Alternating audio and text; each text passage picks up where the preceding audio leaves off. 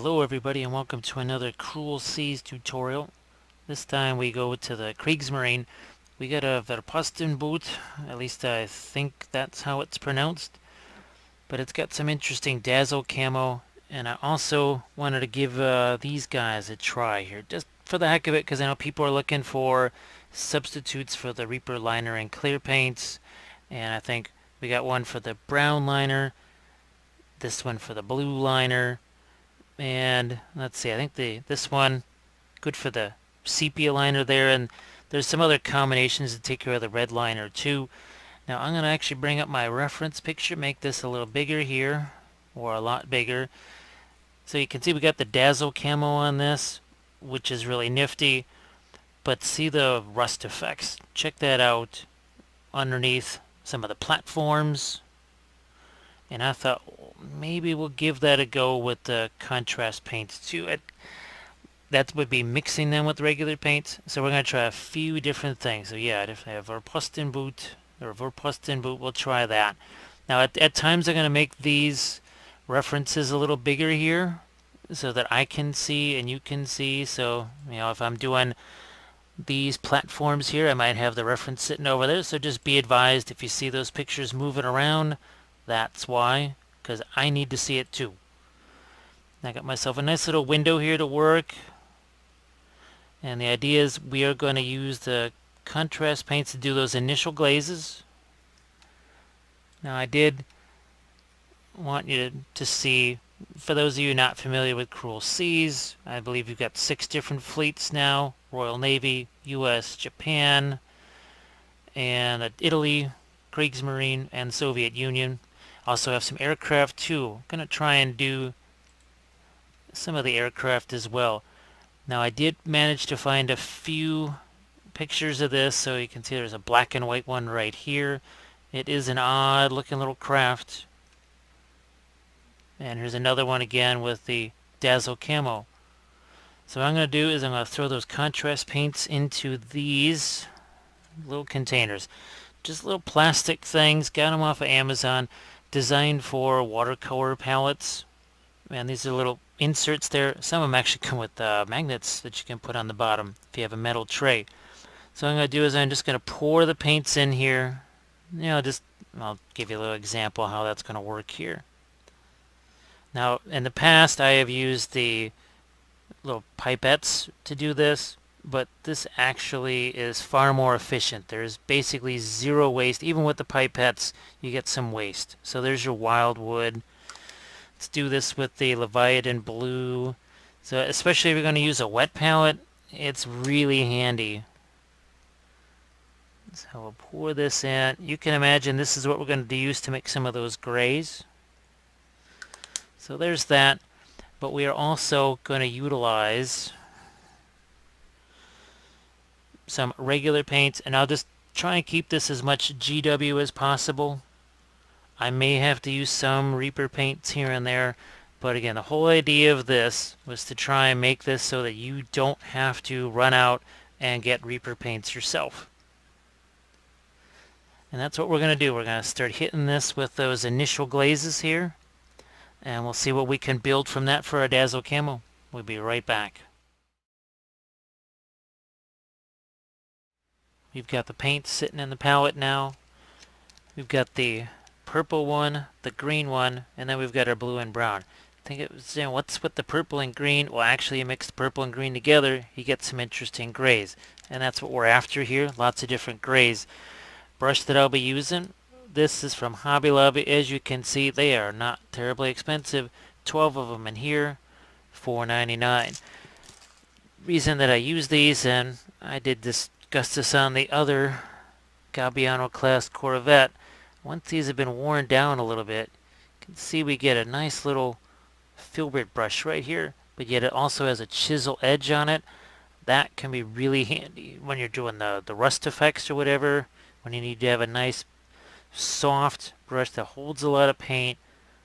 So that is something we are definitely going to utilize down the line. Now let's get this started. We are actually going to take, for the deck here, we're going to use some of the snakebite leather. And we're just going to mix this in. Now, you can put a little bit of water in here. Really, if you got the contrast medium, that's not a bad thing to have. We're just going to throw this in on the deck. Now, if you remember from the Gabbiano class Corvette, we used the liner paint, and then we basically wiped away a lot of it. Well, we're not going to be doing that with this. These paints really don't work quite in that way. Now keep in mind, the whole idea of these is it's very different from the prescribed method that GW says to use. We're using these very much like we use the Reaper liner paint, so if if stuff gets on the underside of this here, as far as the contrast paint goes, I really don't care. We're just sort of indicating some initial weathering here. And again, this is the deck surface. We're going to go with more of the, the grayish colors. I am going to look to see what did they do with the lifeboats. Are they just uh, light gray? What, what did they do there? Not quite sure. And this is also not the final color for the deck.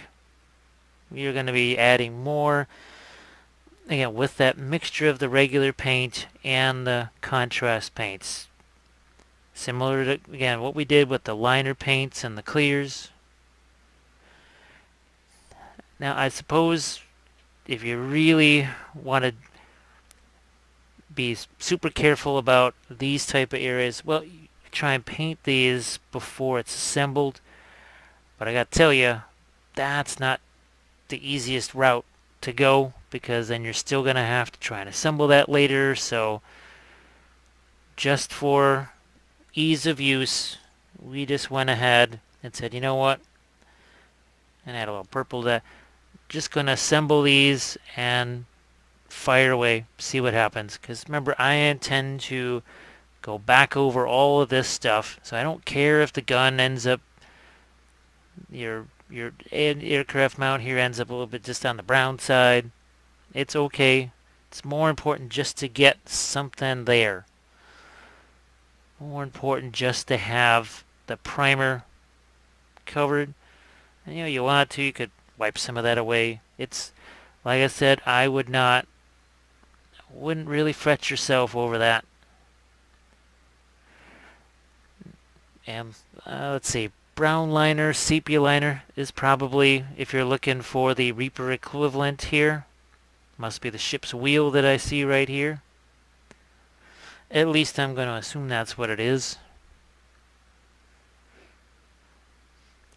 All this is, like I said, is just a little bit of something we can build off of with the subsequent layers. I'm even going to just hit the crew here because stand within the lines at this point. That is not, it's not necessary. We're going to be going over this. It is going to be, like I said, mixing these with the regular paints. It makes this interesting semi-translucent color which you can, depending on how trans translucent it is, the more of this underpainting is going to show through. So I know at times this may wander off camera. It's sort of a complicated shape.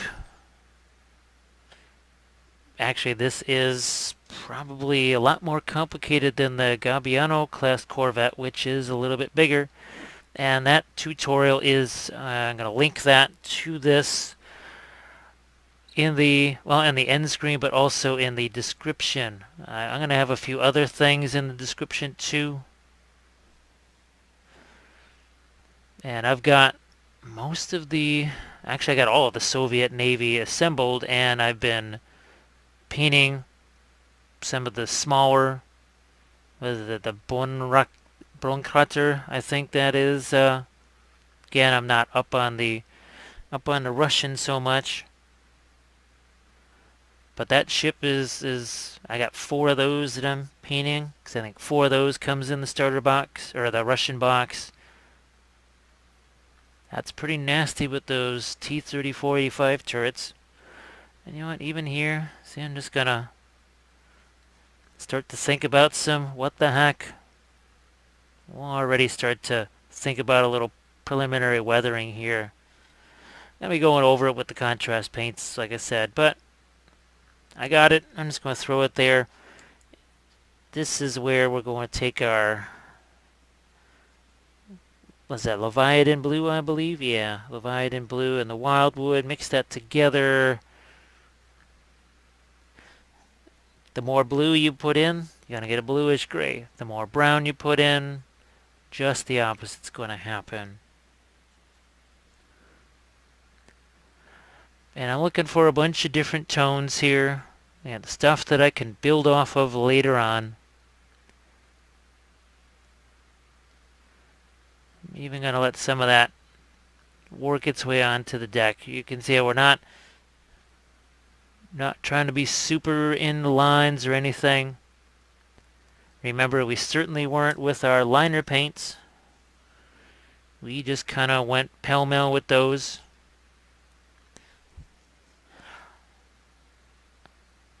Our mast here, now this is, it may bounce around a little bit. I did drill this down into the deck, but it's already gotten caught on one of my cameras a few times. So if this is a little bit loose and bouncy, you'll know why. I'm going to throw even a little more of the blue in there.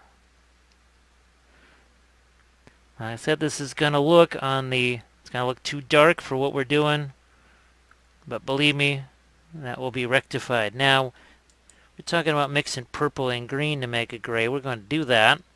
It's going to be a different type of gray, though.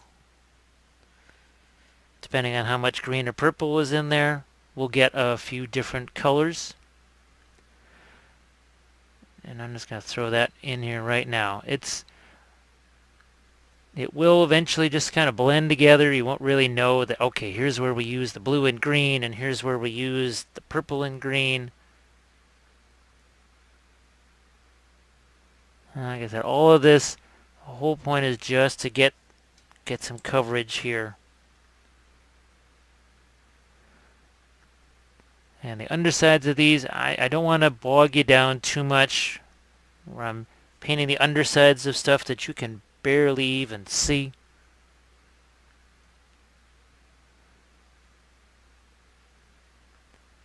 That Dazzle camo, that's going to be added mostly with our regular paint and it is essentially just a bunch of different grays. Let's see. Just trying to get my nose into the magnifier here, see what we can do here. We'll just, again, hit the gun crew here. It would seem that their life vets, unlike the Italian versions, looks like they were brown. As I just checked out the reference and everything that I could find about that, they seem to be kind of a tan slash brown color. We'll just we'll go with that. That's what I saw. That's what we'll go with. We'll work our way slowly aft. Let's work on the, the bridge here. And as you can see, it's just about getting some dark colors in here. That's all it is. And I don't have to worry about jamming this brush down in here because that's we're really just shoving that brush down in there. Don't have to worry about it. It's 35 cent craft brush and these are pretty darn rugged. Believe me, they they can take a lot of punishment. Okay. And it's interesting the capillary action on these. There's I know it's supposed to be all about capillary action. I just haven't seen it nowhere near like oils. And and at some point I will paint one of these ships in oils because that is my favorite. And I mean the whole thing, not just the weathering part of it. Uh, those folks that are part of my Patreon page, they know that Series 2 was my Winter Soviets all done entirely with oils.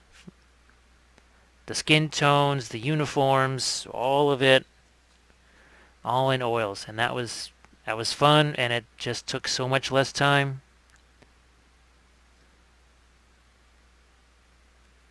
So I think this, believe it or not, it does actually start to take shape, even though we're being not very careful at all with any of this. Once the stuff starts to dry and it gets away from that that wet glossy stuff, you start to see stuff that we can build off of. There is a little method to the madness here. You say, well, you're just constantly shifting your from one grade to the next. Well, that is the idea. And as this, like I said, as this dries, and, and if I was just doing this on my own, I could be a little more careful in the application and get even more interesting results. But like I said, the last one, the Gabbiano class Corvette, that was about a three hour tutorial there.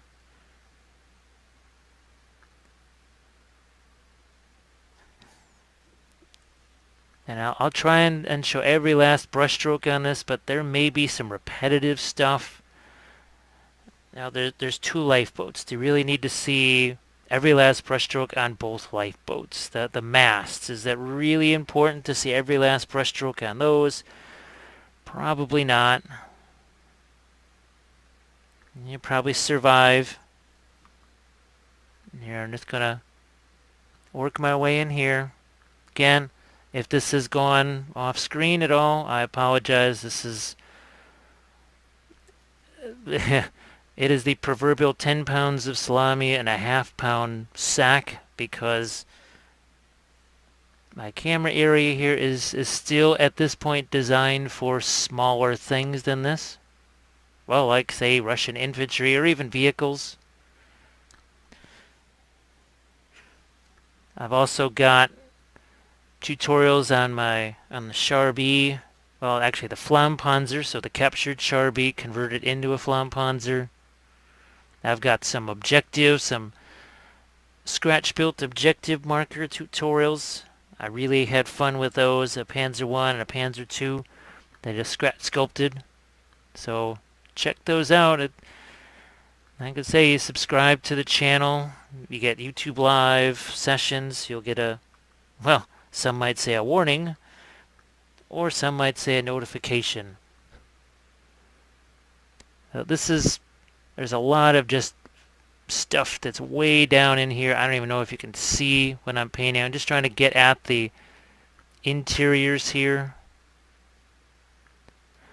Now this, there was no option of just painting this in pieces really, because I think, yeah, this is all part of the resin the on, on top here, okay, yeah, that's that's metal. But the actual gun mounts here, these towers, they are part, an integral part of the resin hull. So you don't get to, well, unless you want to saw them off. It's about the only way you won't have to deal with those.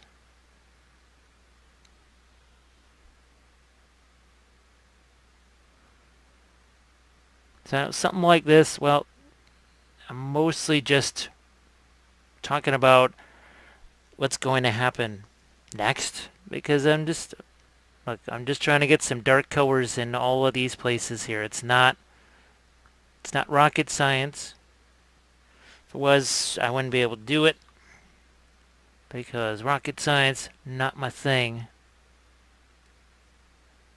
not that rockets are like rockets they're neat but my science is the painting. That's what I do. Now let's get a little touch of the snakebite leather back in here like we have on the other gun mounts.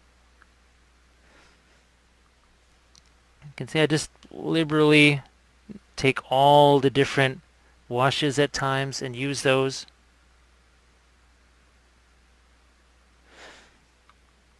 And if I were doing this with the clear liner paints. The only difference is that I would probably go in with those sponges, the makeup sponges that you saw me use, and take some stuff away. You do that with the contrast paints though, that's that doesn't work so well. It only works when you do it immediately afterwards. And by immediately, I mean within three seconds. Anything longer than that, all you're doing is just tearing the paint away. And that's, that's not going to work for anybody. Now we can get into the, just the starboard and port side of the hull here.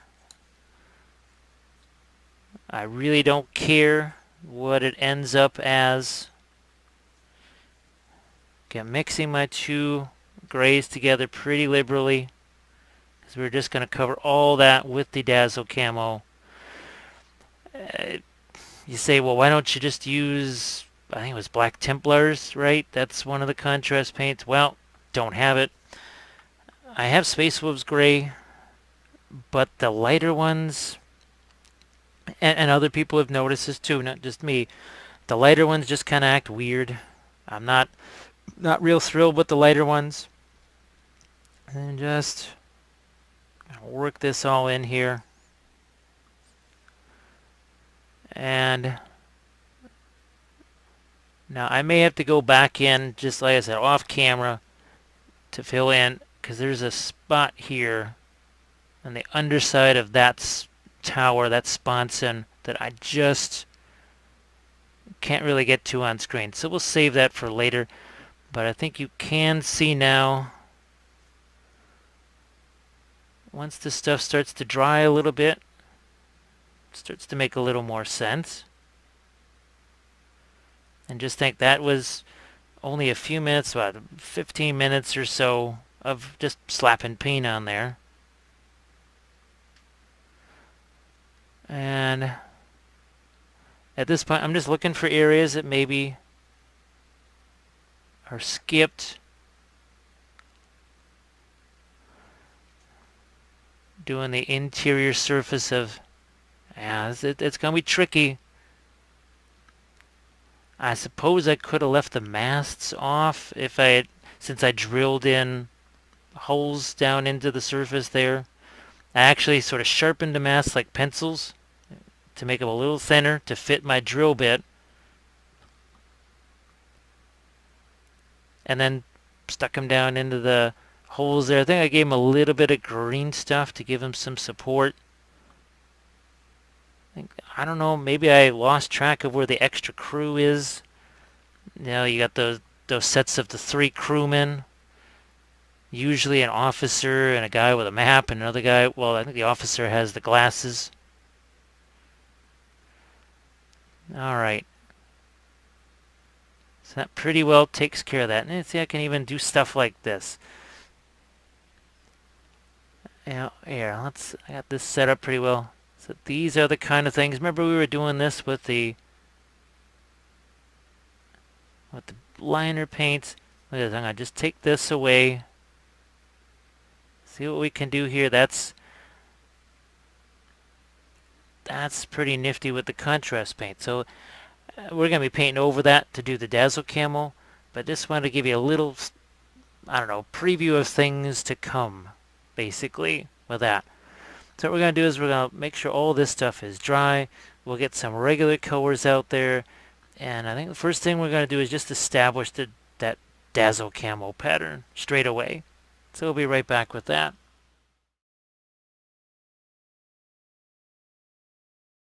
We've added some of those opaque colors to the palette. Now we've got some mostly warmer grays here. We're going to check these out. So you got this Eshin gray and Dawnstone. There we go. A little less reflection on there. We also have, here's our one cool gray, this Fenrisian gray, and Screaming Skull. You wonder why I have these colors? I just happened to grab these last Adepticon. They were part of some classes and they were open, couldn't be sold, they weren't going to be used. So we just said, you know what, we'll take them. We might use them at some point. Little did I know that I was going to use them in this manner.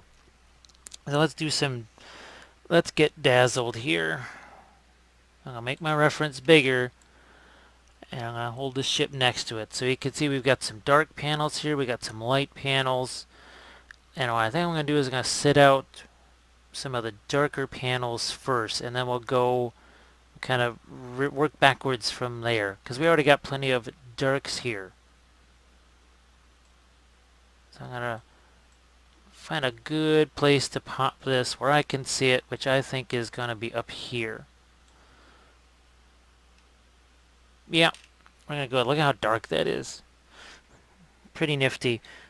But first, actually, you know what? Yeah, let's take the... What is that? The Eshin Gray. And we can start to mix that. See, we're start to mix it with our contrast colors there. And I'm just going to start to lay out some blocks there. They don't have to be precise because what we're going to do is chip away at those with our other colors. Now, here, I'll put a little more of this in. That gray that looked so dark, it's practically light against what we've got here. Now what I'm trying to think is, okay, we've got Another little triangle here. We've got some other triangles over here. I don't know if you can see it, but you'll see it more the, with the lighter colors how this it's this semi-translucent color. It doesn't cover everything. That's it's really neat. I can't wait to start painting some some vehicles with it. It's essentially, I mean, to me it feels like I'm using fast drying, super fast drying oils. I'm even doing up here on the, the bridge. Like I said, we were go we're going to indicate the rest of the shapes. It's essentially a sort of indirect type of painting. I like to call it, uh, I guess the art term is, its watercolor term is negative painting. So you're essentially painting what's not there. And that all makes sense in a little bit. I think, oh wow, look at that. There is there's part of a dazzle pattern there. Interesting. Where there is a dazzle pattern, where there's not. Now, just like the Gabbiano class, we essentially have to make up the camo on this side, which is always interesting. I know sometimes, especially in these early stages, the palette can wander around. So if I catch it, I'll kind of reel it in. So we're just working with these different shapes. Trying to space them out somewhat. And yes, there's dazzle here. It's weird where it is and where it is not. So there's, oh my goodness, there's some under here too. That's going to be interesting. There's a little more dazzle here than I thought. I guess trying to disguise the fact that uh, this can shoot down some planes.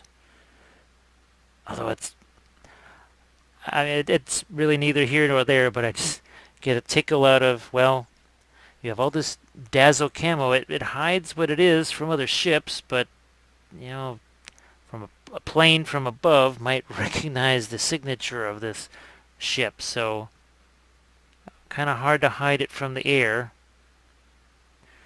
Just look for all those circles.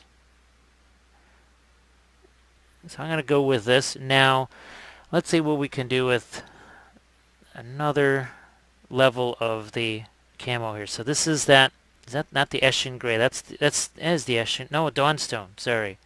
Eshin Gray is what we use. Now we're on the Dawnstone, but mm, I'm going to go with a little touch of the Wyldwood here. Again, to give it some transparency. And now the dazzle pattern's gonna, well, at least hopefully, show up. It's right around your anchor chain here. And the reason I want this to be semi-translucent is that it kind of shades itself because there's nothing more tedious than trying to shade individual chunks of dazzle camo hopefully what this does is it shortens that process. So there's my one little triangle there. Let's go for another larger shape. That's going to be over here.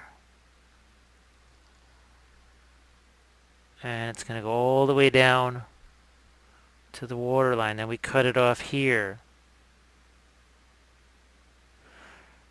Now the way this was done essentially for the box art was as a little bit of a dirtier boat. You know, it's probably kind of in one place a lot. Just the nature of the beast. So I could see it maybe. You know, it's not plying the North Sea or something like that. It's probably more coastal. I, I haven't had a chance to really get into the research now. I'm also going to take this gray and I'm going to get into some of the other non-dazzle part of the ships or the ship. I'm going to hit some of the gun shields and because like I said this is that semi-translucent paint as we hit these it's not going to cover them completely. This would be a good example here. And this sort of turtleback portion of the forecastle here, I'll just, I'm going to call it a forecastle. And if my maritime foo is off, I apologize. Used to sail all the time. Absolutely loved it wind and sail, the only proper way to move a ship. Unless there's... unless it's not. So see that? That totally changes those around, but it's still... We can still see that initial layer of paint underneath here. We'll do the same thing on deck. And just the more I do this, the the more I, I'm seeing the uses for it. It's something I used to do way back in 2013. It's how I painted everything. And then I just sort of got away from it, did other materials, other techniques, and it's weird. If you keep painting long enough, you'll run into yourself, I suppose. And that's what's kind of happened here. Now we'll do this on the stack, which I'm pretty sure does not get any dazzle of any kind. But look at that. I'm able to kind of walk my way up here. It's not a dry brush. There's plenty of paint on there. It's one of the reasons why I use the larger brushes because it lets me just work with a whole lot of paint for a long time. Now the lifeboats are essentially just white it looks like. We're going to do a little close-up. White with actually looks like a bluish black bottom. Yep, really got to walk in a lot of these little triangles here. Okay. Just don't mind me while I move my reference picture around here.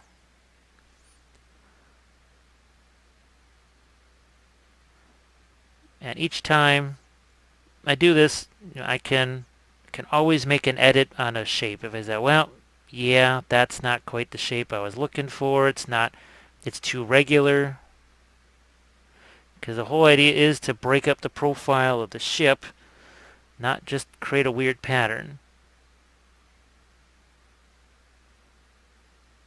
And I also have to remember this is the essentially the medium gray. So let's match up those two pieces. Let's grab a little more of this gray.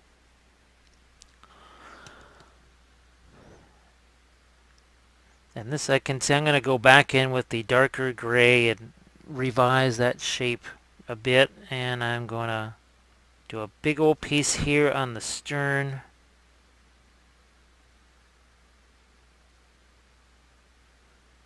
Like so.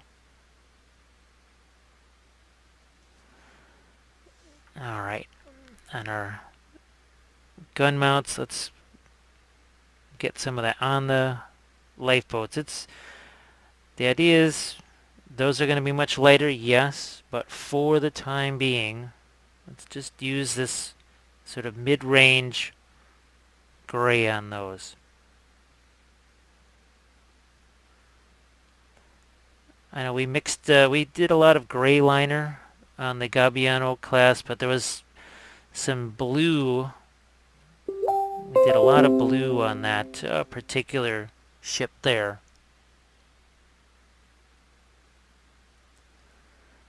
This going to get less of the bluish gray, going to get more warm grays. Almost, I don't want to say dirtier grays, but there. Now let's start to work on our dazzle scheme for the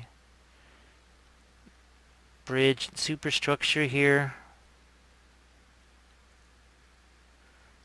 Mm, I'm going to go with one right here.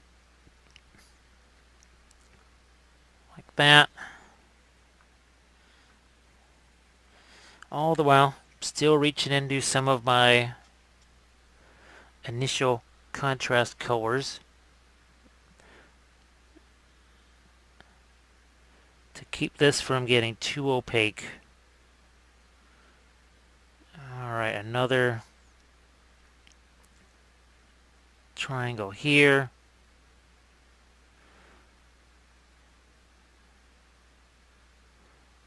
Oh, let's go with this. These, your air intakes here. Let's get a little bit of the lighter gray on those. And I know I'm, I'm moving kind of quick here, and if, I say, if me flying around with this has it go a little bit off camera, I apologize. But this it, it just starts to take shape. You have to be willing to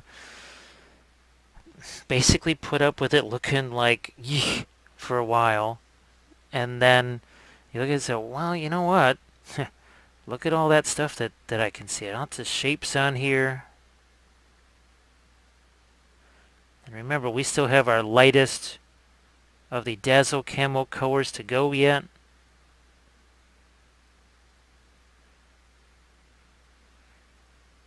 All of that will make a big difference. Because look at how much lighter that is to that. Now, I'm also going to try and inject, speaking of blues, especially where the hole meets the waterline, I'm going to see if I can't mix in some of that blue there. Now, that's actually a, yeah, I need a chunk here of the mid-tone gray.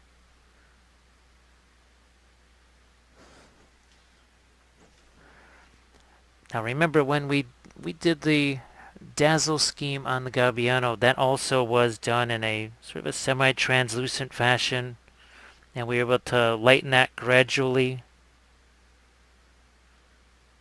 The Principle is sort of the same. Here we've just we've changed the paint that we're using. That's that's all it is.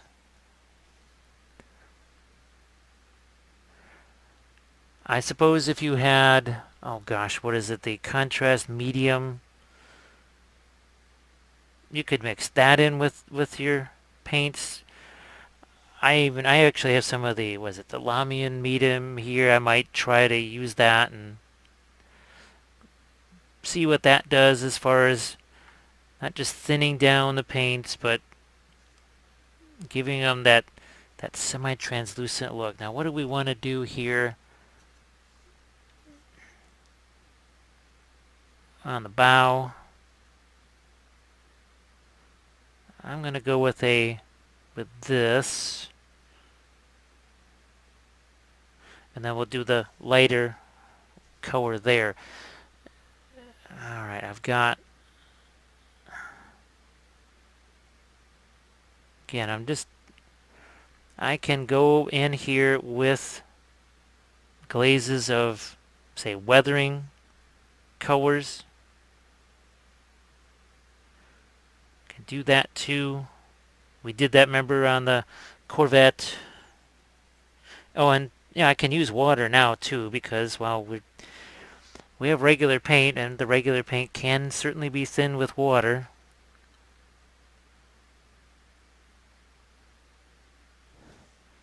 But if it gets too thin, I just go back and grab some of my regular paint here.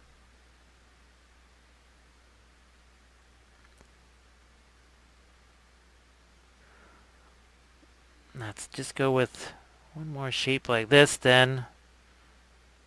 I'll be really curious to see just how significant the changes appear once we get into the much lighter camo color. In fact, it's time to start looking around. And this is as far as the, the pattern goes. See second layer there. Lightens that up. Now I need to have a somewhat darker version here of this and go over the top. I want the the gun platform there to cast a little bit of a shadow. Here, I'm even gonna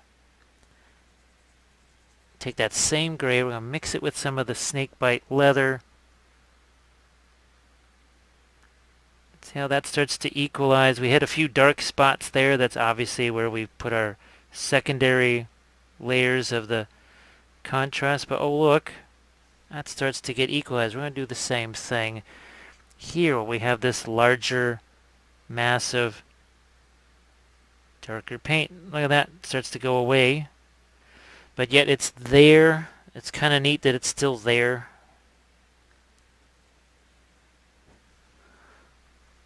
We're going to go on the other side of this. That's why I did not worry about any kind of pooling or whatever that is something that definitely happens with the contrast paints. I just I've seen other people and talked to them. Now the way they're using it again, it's more that GW style. They end up with more pooling issues because they were relying on just the contrast paint itself. Whereas for me, that's it's a it's a means to an end, I guess. I don't rely on it doing the contrast thing. At least not to the degree that those folks are. So just one quick little side interlude into the deck here. And I see another area where it's gotten a little darker. You can see I'm taking the some of that deck color that we mixed. Look at that. Just that solves so I think it really starts to clean up that deck color right there. And I'm even going to start to fiddle a little bit of this onto some of the crew.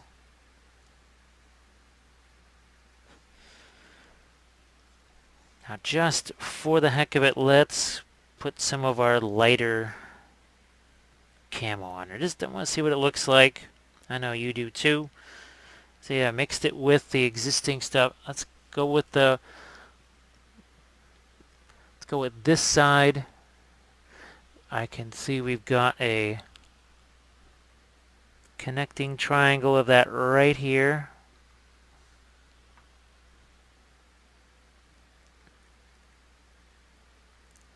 Like so. I know there's some folks that would mask all this off and do airbrush stuff. Well, there's a lot of time spent masking. And I know I know some folks that they say, yeah, I could just mask that off, and then they realize just how long it takes to mask things off, and the fact that you're talking about masking it off multiple times, and you realize, am I really saving all that much time? we need ourselves a triangle here and it's always cool when one of those goes over some sort of a porthole there and then we've got another shape right here which leads into uh, I'm just going to go like this.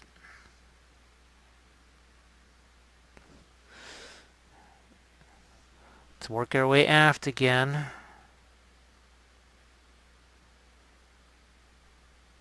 And that's, uh, yeah, okay. So let's go like this.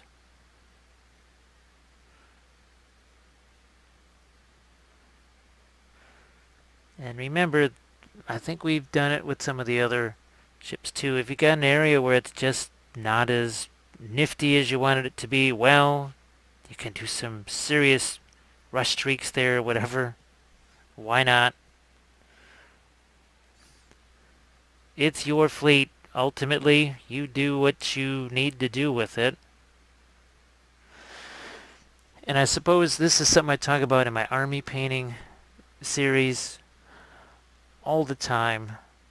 There's this idea that you just you don't have to paint the whole army all at once. You paint part of it. You get it to where it looks okay and playable. Then you you do your game, whatever. Then you paint some more on it. And, and each time you add a little more paint to it, the more it's going to start looking like a finished product. Just be patient with yourself. I think some folks, they just, they want to see that army or whatever just get painted uh, right away so quickly. And even for me, it's as fast as I go through things. It is, it doesn't all just happen at once. Believe me, So we're now we're taking that lighter camo color, we're adding it to the things like the lifeboats.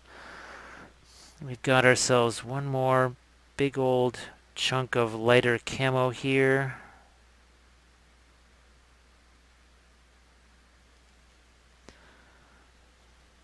Now let's get, let's work our way up. We've worked our way aft. Let's work our way up.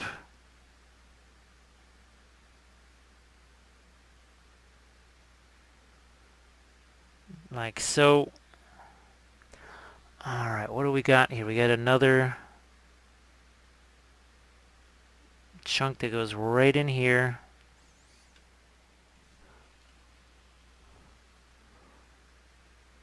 This is where I really like these brushes because you can see how much paint they hold. I can really just paint for quite a while with these guys.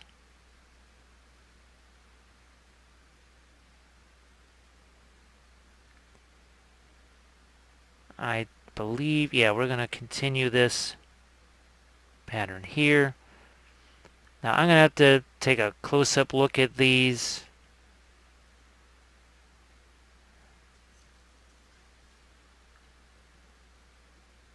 Now let's start to think about the other other end of our boat here. We gotta we did the port side, we gotta get to the starboard side.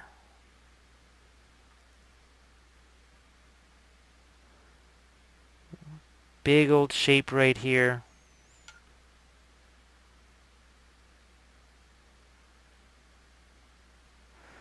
I'm going to do one more down here. And don't worry about that. You can see the brush strokes in there. We are just sketching this on. This is not, the idea of this is not to have you, this your, your permanent final version of your Dazzle scheme. It is most definitely not that. Because I might still make some changes to this. So yeah, I'm going to let this mix in. And it's certainly not our lightest color either. I'm going to have this sort of bisect that one line. Let's go with this here.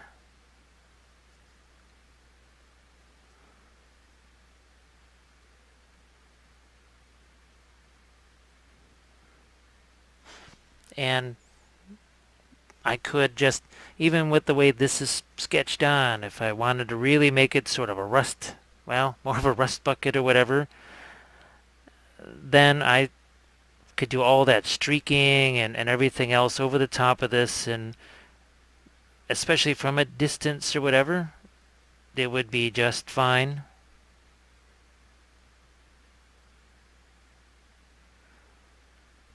I know some of the concepts that I'm talking about here might be a little unusual for people that aren't used to the way I approach things.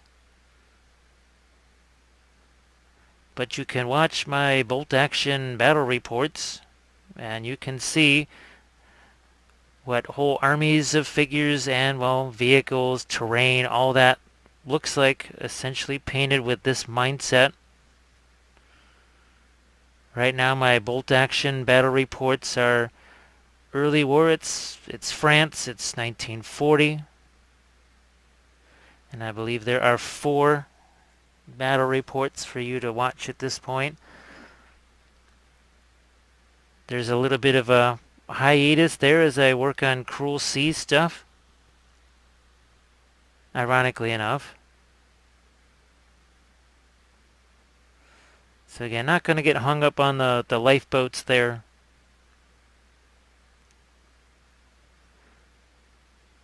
But I do want to, yeah, get that lighter dazzle color in there. Let's get myself a nice piece that intersects with this.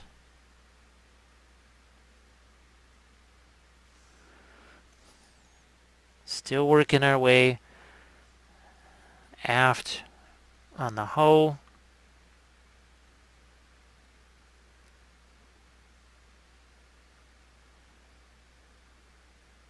I guess it, it is really important to vary the size of these pieces.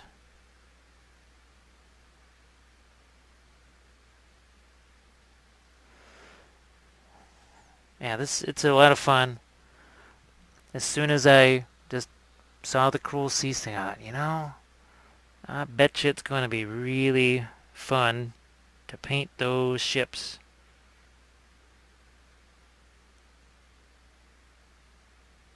Obviously the, the larger ships just have a little more impact visually. But even the smaller, the mid-sized ships, the Italians definitely have a lot of the, the mid-sized ships, which is kind of neat.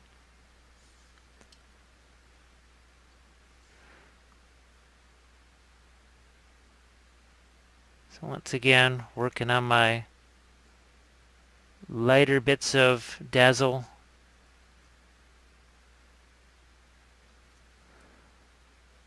And here since it is sort of semi-translucent so I can even take some of it away with my finger.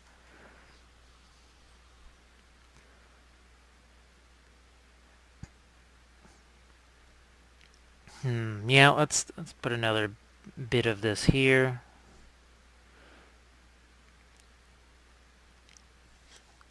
Alright. Do I need any other... Did I just kind of skip an area? Gotta look for that. Yeah, there's a few.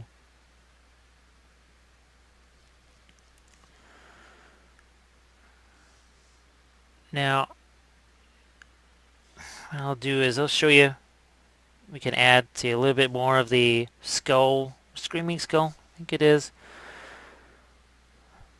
And you want to make certain parts of the camo lighter. Well, look at that. We can.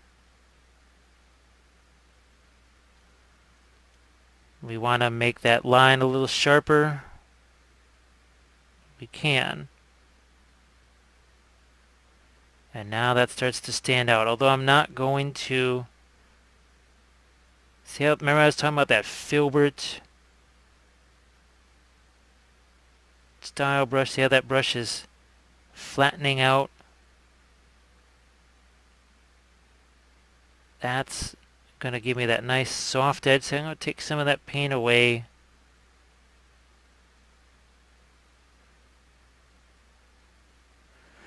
Now we we can really see that brightest that brightest gray. It's kind of a yellow, basically a yellowish gray.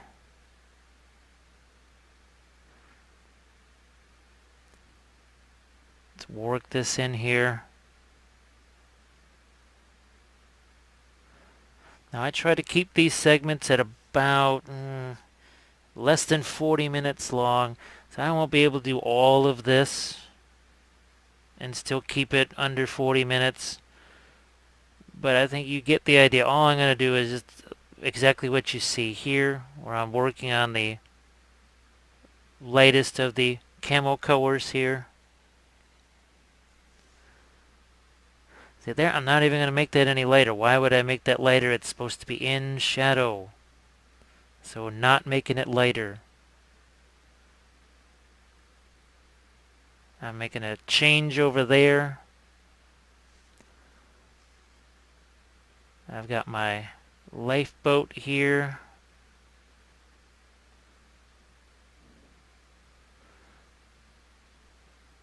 I need this light part of the camo set. Same thing here on this platform.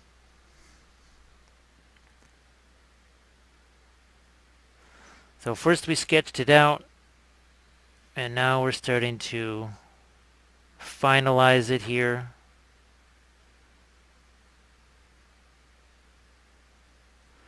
Again, I'll get rid of some of that excess. I can even go in with some of my contrast paint there. So almost be a little bit of wet into wet.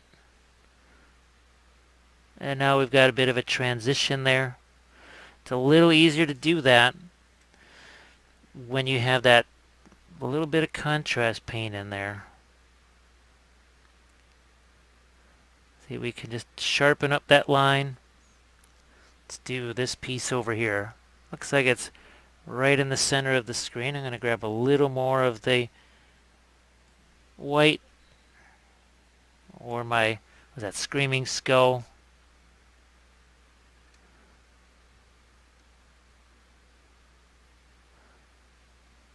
There we are.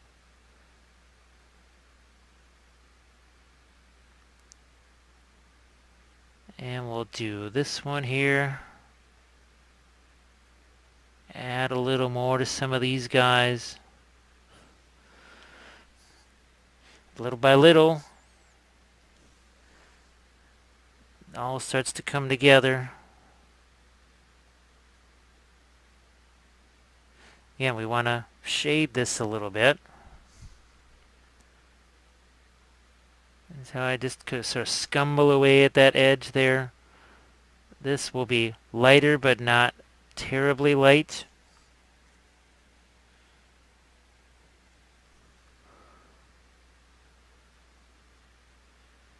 We get uh, another chunk of our lighter dazzle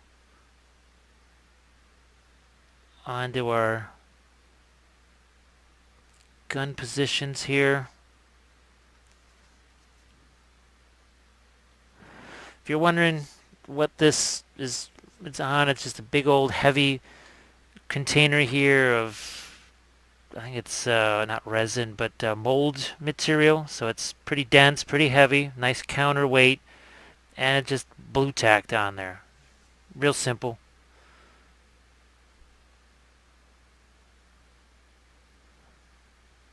You can see I, I just made a little change to my shape there. Hopefully, I think you can see what I'm doing. Yeah, good. See how we're thinking about some shading there and making another change.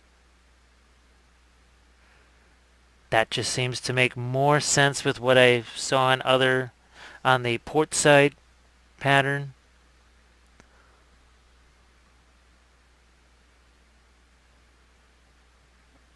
Once again, cleaning up,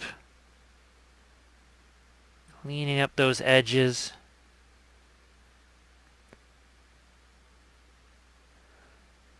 Alright. Yes, this is on the underside of the fantail there, but it needed to get a little bit more light.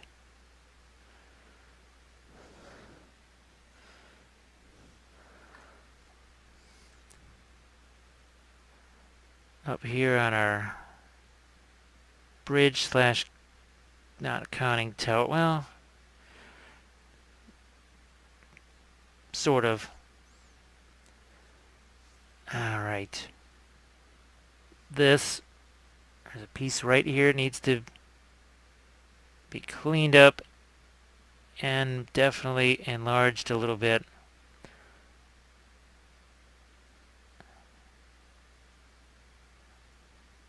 We, oh, we don't even have one over here on this gun mount, on this side of it.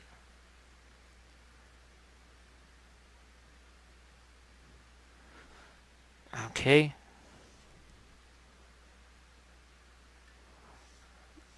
This piece definitely got three pieces right here that certainly need to be reinforced.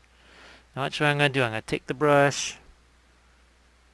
I'm going to sweep it to the side here. We're going to get rid of some of that extra paint. We're just sweeping this to the side. Using the shape of the brush itself to help me out in, in creating the sort of the final outline of my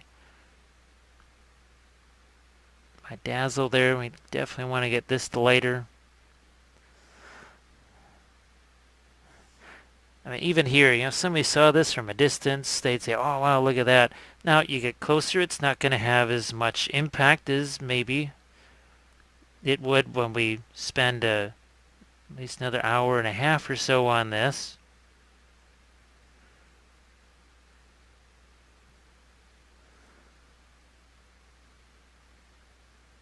That's the nature of the beast. You want results, sometimes you just got to put time in. You just can't quite shortcut it.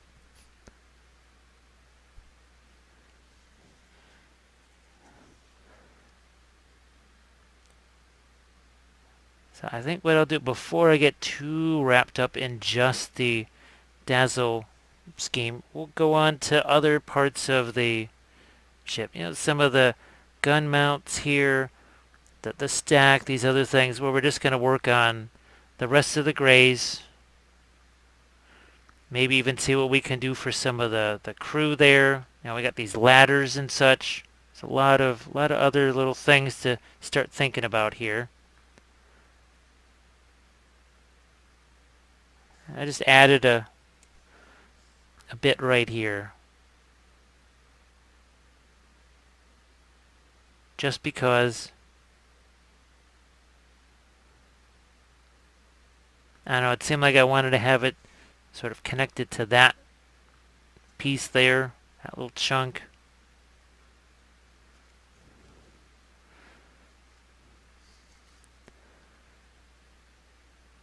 And with that, we're going to move on now.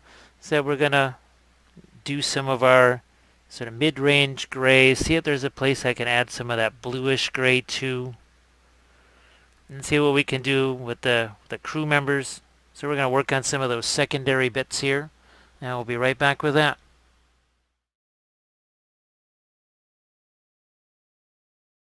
So as I look at some of the other areas on the superstructure, I can see there's definitely some lighter colors there. It's not just those boats, but also in the stacks and some of the other stuff that's sitting out there. So I'm going to reduce my reference picture here and it's no big deal because there we go we still have some of our lighter gray out here and we're going to get right into that now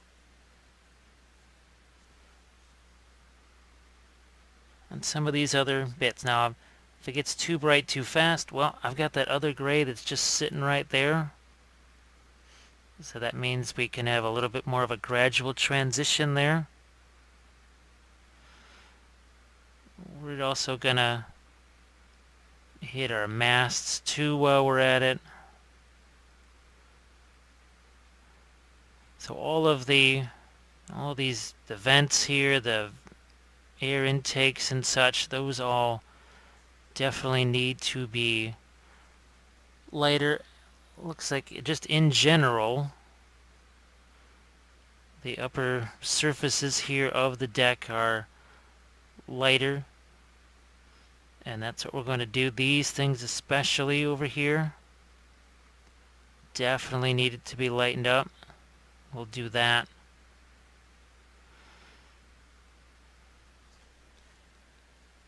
the these certainly needed to get lighter and that's that's good because that weathering really does show up better on against a lighter surface uh, than a, against a darker one. It's obviously that's why weathering just always looks really nifty on desert vehicles and on winter whitewash vehicles because that that lighter color just really lends itself to showing off showing off your weathering. I'm just trying to get this again in a position where I can see it too. Remember, there's going to be the rust streaks down the stack and maybe even a little bit of soot there too. Well, not necessarily soot, but some scorching, whatever. You know what I mean.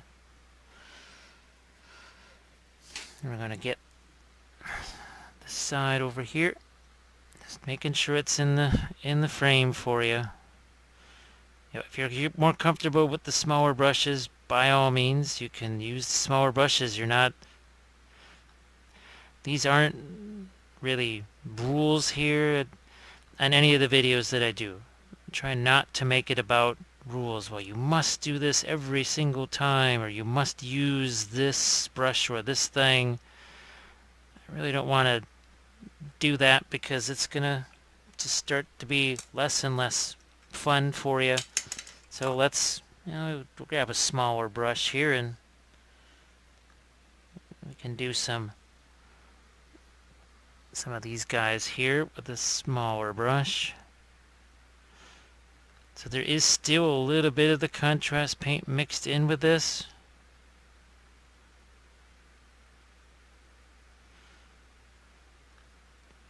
I am looking forward to, still haven't actually quite decided on what mixture I want to use to do my contrast paint or, or for the, the rust and stuff. What, how much contrast paint do I put in there? We'll kind of find out when it happens. That's another thing that I try and do with the videos is not necessarily have something that I've done a thousand times before because it can you can kind of tell when somebody's just doing something that okay here we'll show you this exact same thing again. I try to do as much variety as I can in materials techniques.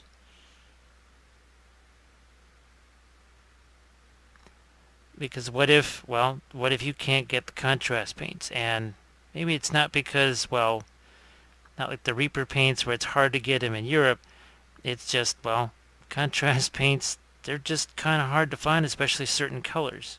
So what do you do then? Well, for me, I just, I have other materials that I could easily use instead. See, it didn't take long to get those pretty well established. I am going to put a little bit more of the Screaming Skull out there and as light as that is, that's still not white. It's still not white, so I still have more range of motion. I can still do more stuff as far as adding lights. See how much lighter that is now? Everything is kind of relative. Speaking of lighter, and maybe using the finer brush. You know, here we start to clean up a few of our camo patterns. Because why not? We can get that lightest color on them. We have our lifeboats here.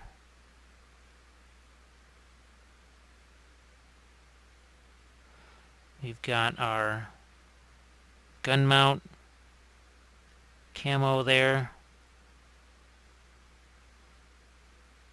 Especially up here on the superstructure. Can make some of this a little lighter, a little more precise.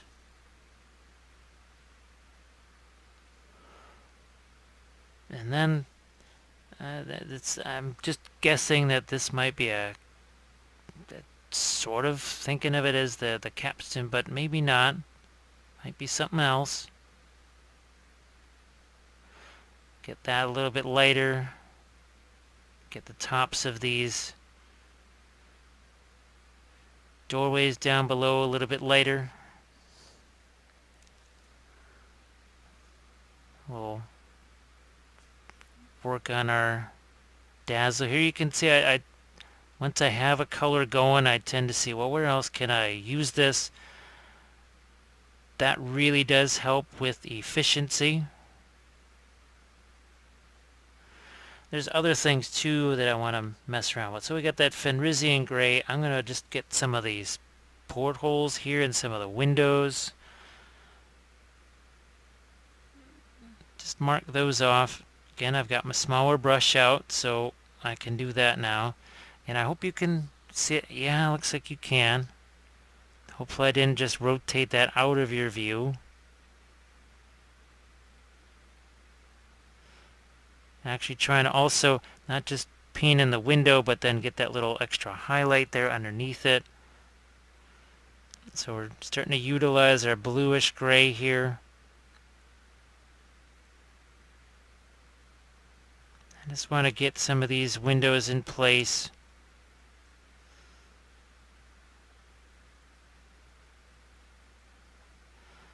Maybe even, let's see how that will work right here. So I'm, you can see I'm just where the water line is reflecting a little bit of that bluish gray into the sort of the mid-level part of the camo pattern here. And I'm even going to just, yeah, let's darken that down a little bit.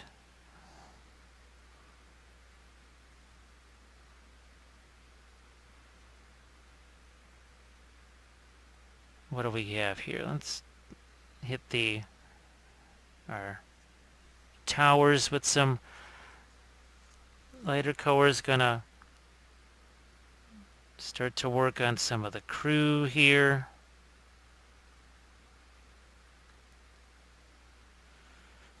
Now whether or not you want to get into putting individual skin tones on it, that's up to you. I, I certainly did that with the Italian crew and I really want to try that with these guys also. It depends on what I can see.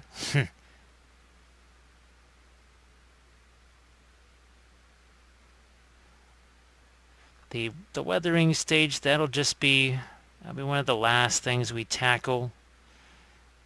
Not really going to get into the the decals and the flags. That's something I'm just gonna instead of using the the metal versions I'm just gonna actually cut out some pieces of paper. Because the the metal versions are just kind of well huge. And there's kind of they just look like hunks of metal dangling off of whatever I, I tried using them on the Italian ships, and that's basically... I just wasn't super thrilled with those.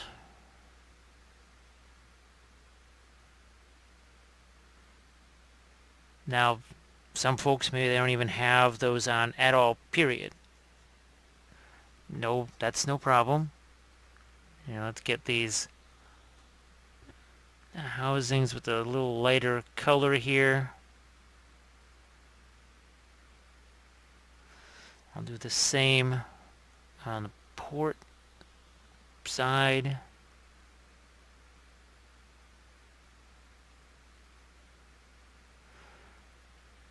Now this other tower mount here, I gotta get some lighter gray on that. Also on the on your boat cranes here.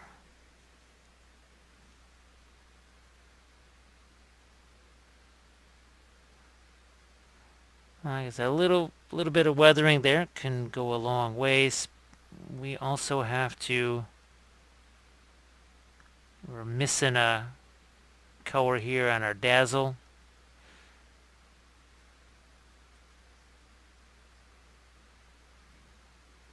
And I'm going to do the same here as well. I've got plenty of the dark, plenty of the light, but none of the stuff in the middle. So I'm just going to add that right now. I think, yeah, I think you can see that now. I still have my snakebite leather here. Let's add a touch of that lighter color. Let's see what we can do to add a little bit of a deck pattern here. I think that's fairly good for you to be able to see it. And see, I'm just doing a couple of these lines, and it is with that semi-translucent paint. See, just throwing in a few lines here. It just gives the impression some kind of planking. I'll turn this around. We'll do it back the other way.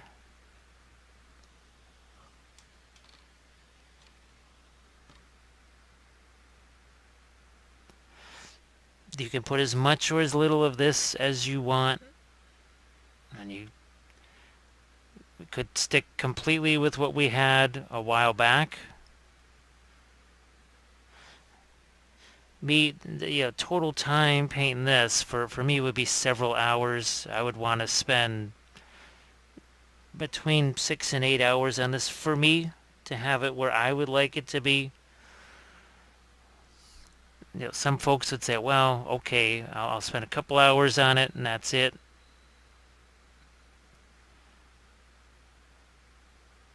And i know i think some folks may hopefully when you saw the idea that, well, geez, he's using contrast paints on this boat, he's just going to paint it in a couple of minutes. Well, I hope that was not the impression, because that was not supposed to be the impression.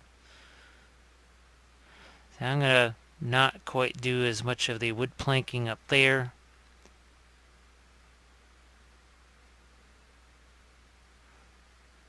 On the bridge area,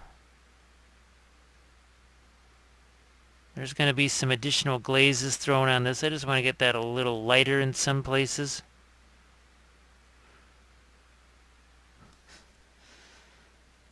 Yeah, I'm going to get a little bit more of that sneak snakebite leather back out here. This is going to give some impression here of a lighter color for that for the deck there. Yeah, it's, it's not crucial.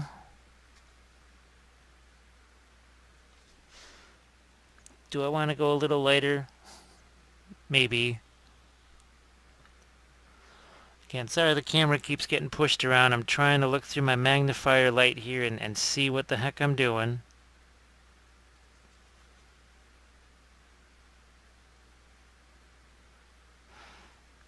So that's giving us just that extra little touch of contrast. No pun intended.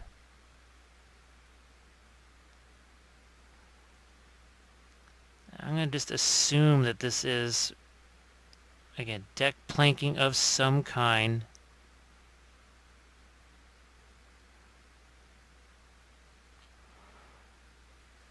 What do we got over here? Yeah, well, I'm even going to start to think about life vests. You can see a few here. And like I said, I saw those. They were sort of a brownish gray. Where's ah some more crew over here? Let's see if we can't Get some of the wood in the lifeboats here.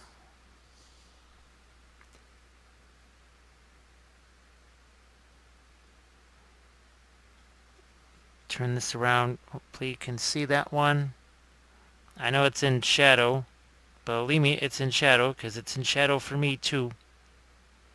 See if I can get a few indications of wood planks aft here.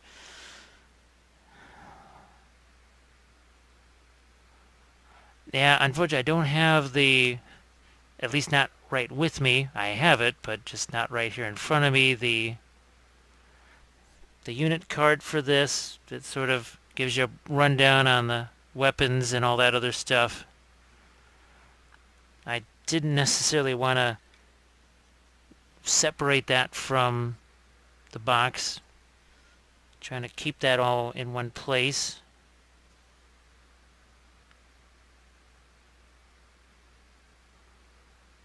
Okay, we're gonna, yeah, I'm gonna get a little bit of a locker there. Now let's start to get some lighter grays. So I'm even gonna put a little touch of blue in that. Well, that's the Fenrisian gray, I suppose.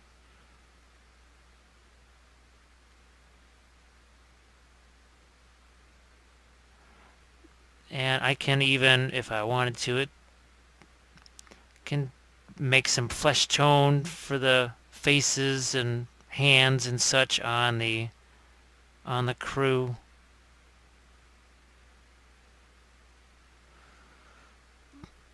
I think one of the next things we'll tackle on this, try and tackle some of the the aspects of the weathering Because what I, I try and do in a semi-stealthy way is to give you something where, okay, you were able to follow along this far. And you got yourself a ship that's looking pretty good, but that's as far as you could get. Well, then, okay, here's the next stage that you can take it a little bit farther and add your weathering, but still be able to use it to get in some games, because, hey, that is sort of the purpose of having the chips and the rules and the dice and everything else. Play some games. When I do my battle reports with the Cruel Seas, it's pretty much going to be me versus me, so that's going to be more of a sort of a tactic discussion. I like to do those where I say, okay, let's just try this. Okay, maybe the meta or whatever convention says do this. Let's try something different. It's sort of what I do with the painting. So why not carry that into the gameplay itself too?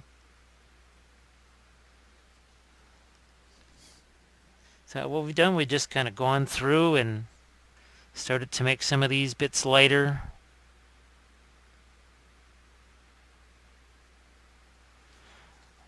like I said before, if you want to show that weathering, it really helps to have a lighter base to work from.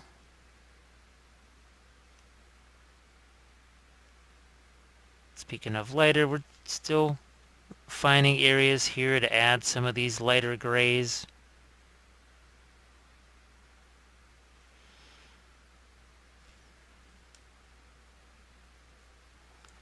On this primary platform over here. Definitely get some there. You can see me wiping away paint here and there. Because why not? Why I have to paint over things? I just, I don't understand why there's this notion of, well, oh my gosh, there's one small little thing there. I've got to strip the whole thing down and start from scratch again or you just sort of fix whatever little thing might have gone haywire.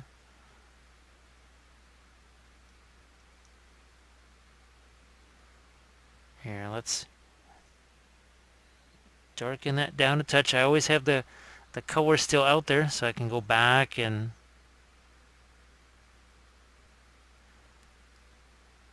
there. Just getting some of these things a little a little lighter.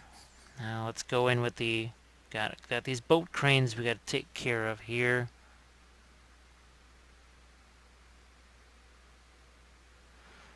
Ladders.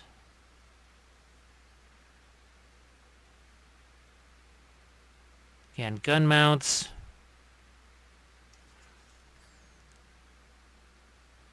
Just trying to work in some of these bluish grays here.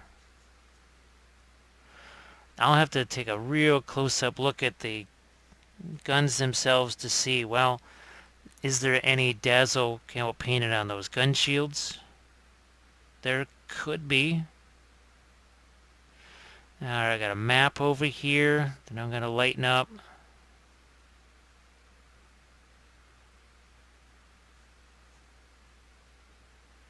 Forward edge on that. We got some edges here. I want to pick up two. This just needs to be... I don't know, I need a different shape here. That's it. It was, it was looking a little too like a, a repeat of the same shape over and over again. Sometimes I see things here that need to be straightened out or some form of correction on them.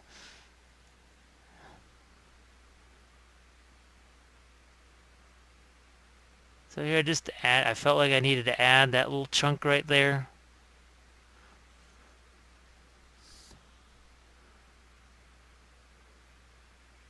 So I think we've gotten those lightened up pretty well.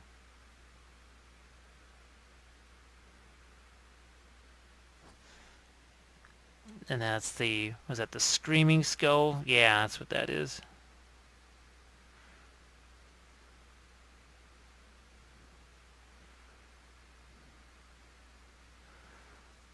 And now I can do some chipping, I suppose.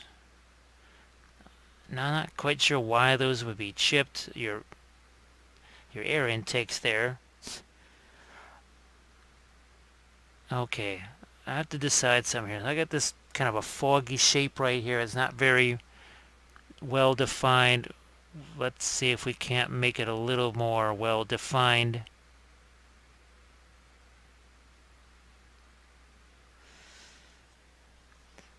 And I, I could just, I may have to put some more of the Screaming Skull out there and... I don't want it to get too, too yellow at this point.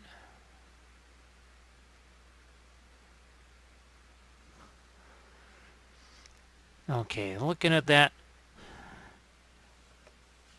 I'm going to, this is basically just some, where's my, this is just straight up white.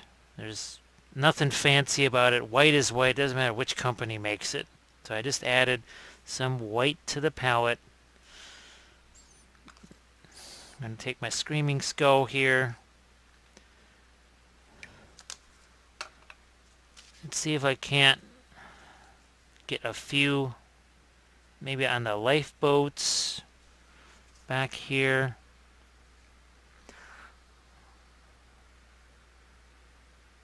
Look at that, the different, and that's still not pure white. Still not pure white, but what it is starting to do is add some texture of planks there. And I'm even thinking about lightening some of my, that lightest bit of the dazzle pattern.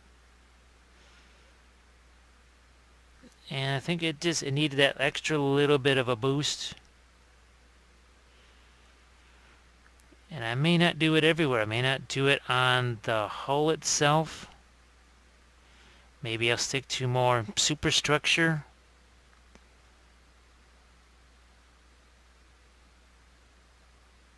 Like that.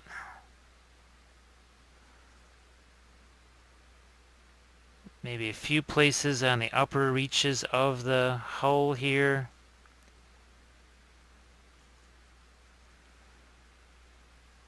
Can you see that? Yeah, I think that's about where you can see it. Now let's do the other life. I'm just going to take this, sweep that along, nice broad brush stroke.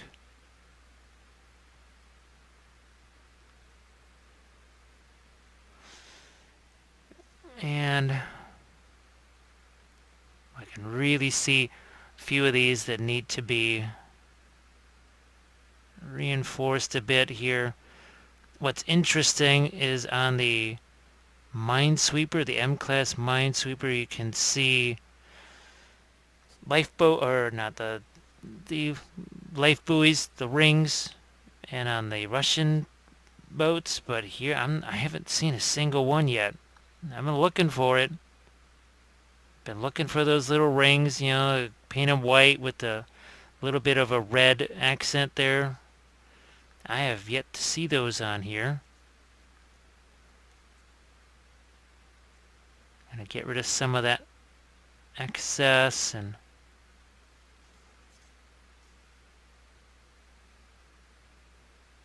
but you can see I don't mind it if it's a little bit see-through because the the whole weathering phase is yet to happen.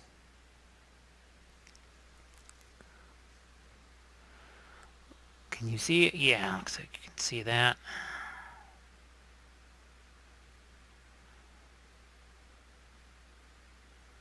I'll just do this and maybe even wipe some of it away. I can thin it down a little bit and take away some of the extra. See I just sort of scumble that in there? Lots, this one strip right here.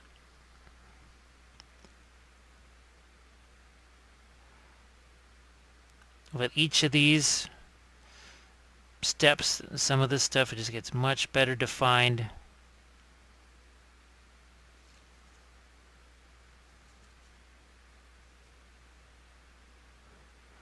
This one for sure needs a little more definition.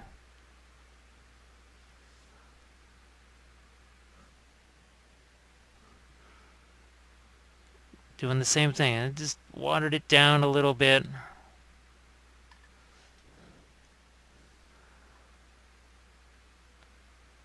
Yeah, if I've got too much on the brush, I take some of it away. And do that same thing. A little bit of water.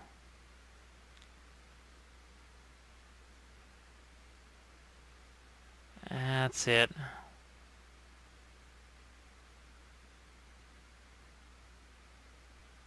Like you do.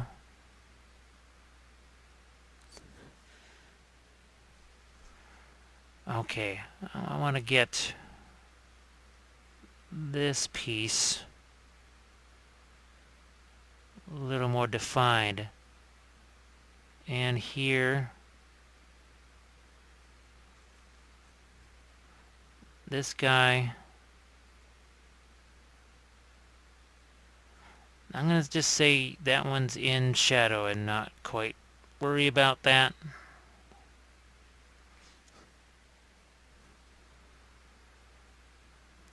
These I will Get a little bit of a lighter tone on these. We've added lights in other places, so these need to catch up a bit.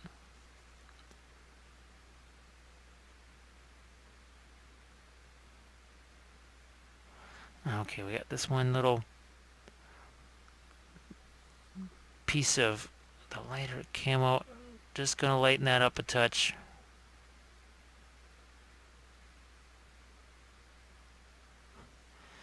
Okay, I'm going to take some water here to tone this down. Now we can spread all along there. We'll hit this piece.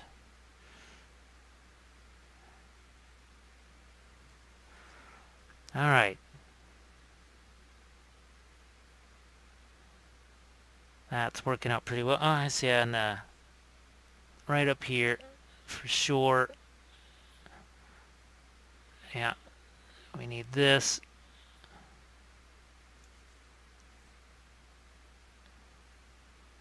I think that's gonna mostly take care of our lighter color. So the next thing I'm gonna do is just try and hit the some of the weathering next. It's working with a lot of the the rust and staining and that sort of thing. We'll see what we can do with that. And then after that would be more of the sort of those final little details working on the crew and maybe get a little bit of skin tone on them, that sort of thing. So we'll be right back with a little bit of the weathering on this. I want to see if I can do some rust here and just some general weathering. I threw out a couple of things. We've got this the Blood Angels Red. We're going to mix that with the Snakebite Leather. Try and make that rusty colored orange wash out of that. And then the Rhinox Hide, we'll mix that with some of our, like the Wyldwood and, and the darker stuff. That'll be for some the, the chips or even maybe some of the darker rust. See if we can do it. Got that Rhinox Hide out here.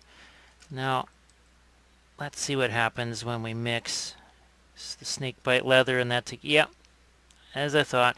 I mean, you're basically mixing sort of a yellowish brown and a very warm red together. And yeah, now you start to get a little bit of a rust effect there. Alright, so we've got that. And the Rhinox hide, I think if we mix that with some of our darker colors, that should be pretty pretty good for some chipping there. Let's see what we can do as far as maybe some streaks here. Now, I'm going to make this picture a little bit bigger. And we're obviously going to focus on the portholes and some of these upper surfaces here. And the undersides of those platforms. You can see it right there in that upper right hand circle. And we're going to see what we get now. Alright. Here, I'm just going to get this out of the way here. There we go. Just going to make it that much smaller. So now we have this pretty much in focus. And this is an alternative to, say, the oil washes. Or at least that's the, that's the plan. Let's see what we get here. And it's definitely translucent. I've got myself another brush here and the idea is almost like what you would do with an oil wash where you, you throw it down and then you sort of extend it down a little bit. Let's do another another portal over here like so. Take some of this away, maybe even a bit more. Make it as translucent as possible. So that seems to seems to work out okay. Now, in the previous video, you saw me mostly working with the Secret Weapon weathering paints. I really love those, but again, some parts of the some parts of the world just have a tough time getting their hands on those. So hopefully this presents a nice alternative for you. Yeah, look at that. See, that's... Who would have thought contrast paints as rust and weathering? Well, I figured that would work right away because it is so much like the the oil weathering stuff. Now, what I'm trying to do is on the underside of that, we're going to see if we can't Get a little bit of rust going on here too. Especially underneath here. It's one way to, that's why I didn't really fret about getting colors in there because I figured, you know what? What the heck, we'll just put this rust in there. Let's, let's go over here. I'm going to get the ladder here too with some of that because why not? Now I'm going to put this on its side. Oh yeah. See, look at that. Look at what that's doing. That is a nice, nice rust color there. It can be even a little bit darker in places where you need it to be. So we can get a good variety out of it. That's nice. Let's see what we get here.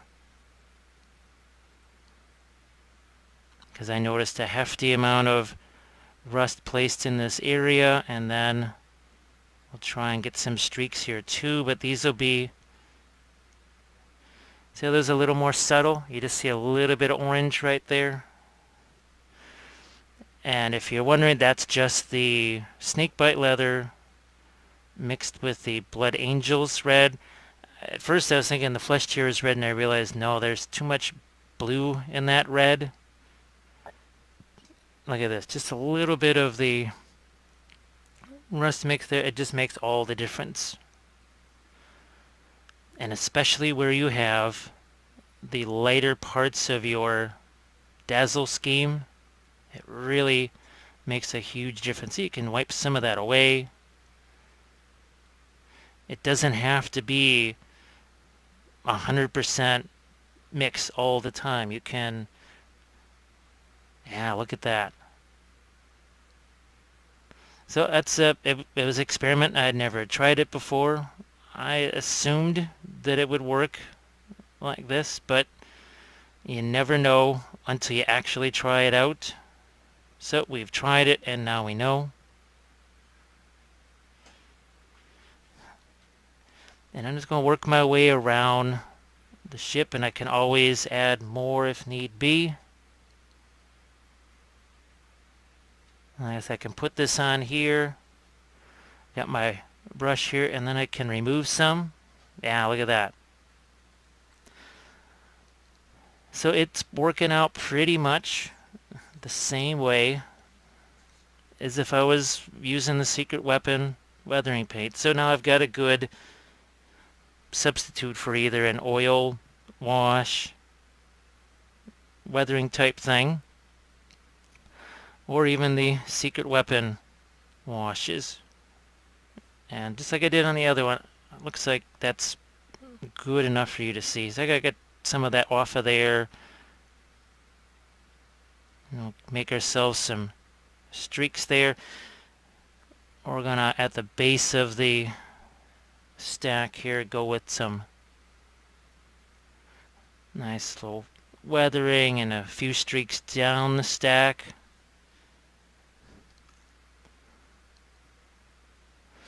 And any place where you just feel not really feeling like your, your Dazzle camo came out the way you wanted, well, or even here, some of these panels, they just, the lines weren't real clean. We're going to dirty them up. Because, hey, why not? I'm trying to think, too, it in the terms of natural collection points. Where would something like water just sort of accumulate and cause that kind of weathering like that.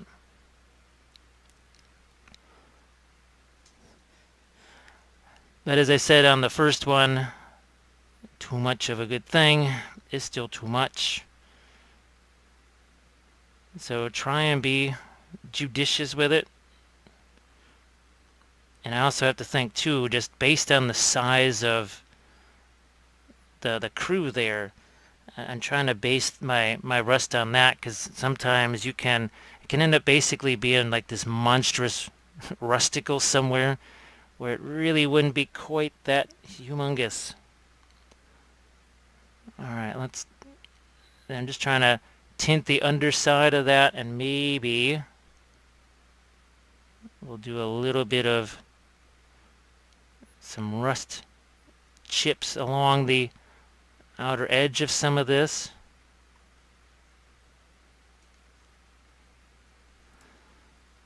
Now we've got our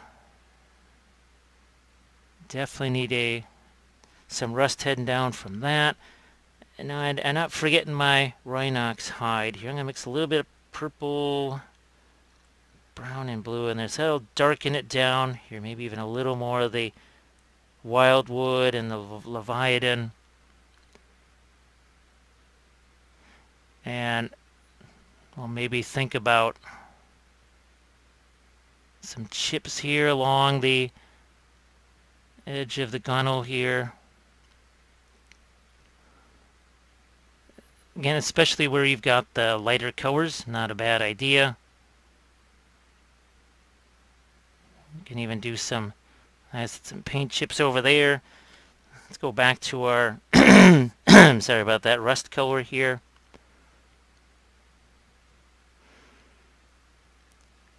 And it really has quite the dramatic impact, which is why you have to sort of rein in that desire to kind of go wild and put it absolutely everywhere. Certainly need some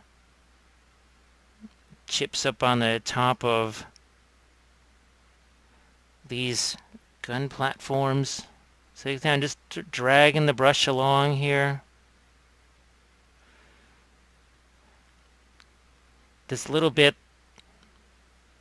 makes it look less like it was painted on and more it you're shrinking the ship down or eh, sometimes you're doing the reverse you're making it look that much bigger by adding all of these little tiny details like these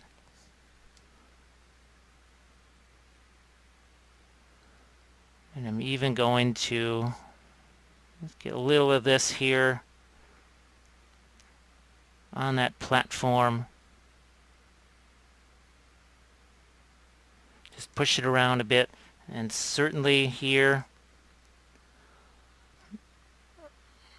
there would definitely be some accumulation of water underneath this. Let's see if we can do some streaks down. Yeah, see how they're nice and translucent there?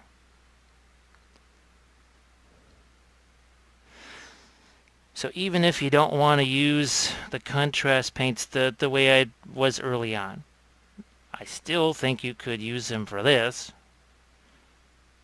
Oh, for sure. Oh, yeah, look at this. Yeah, here, let, let's continue this out and over the side of the ship. We can do multiple layers of this also. That can take some of that away.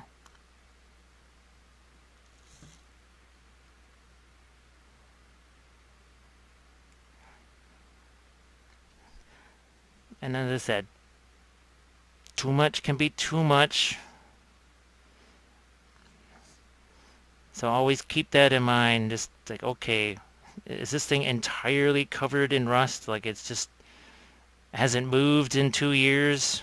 Well, then maybe I maybe I overdid it. I'm going to do the same thing, the underside of this platform. So we'll get some nice nice solid glaze in there and then we're going to extend that down. We just took some water. You could use the contrast medium too if you have it. I don't have it so I have to use something else instead.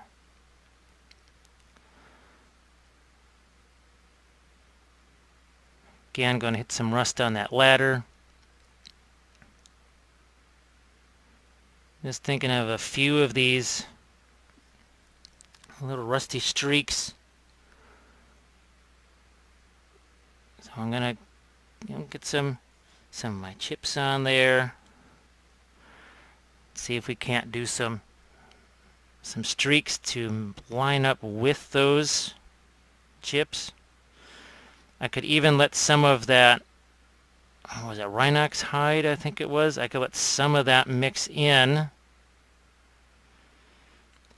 with my tr super transparent rust stuff here to give it make a little bit more darkness, a little bit more opacity.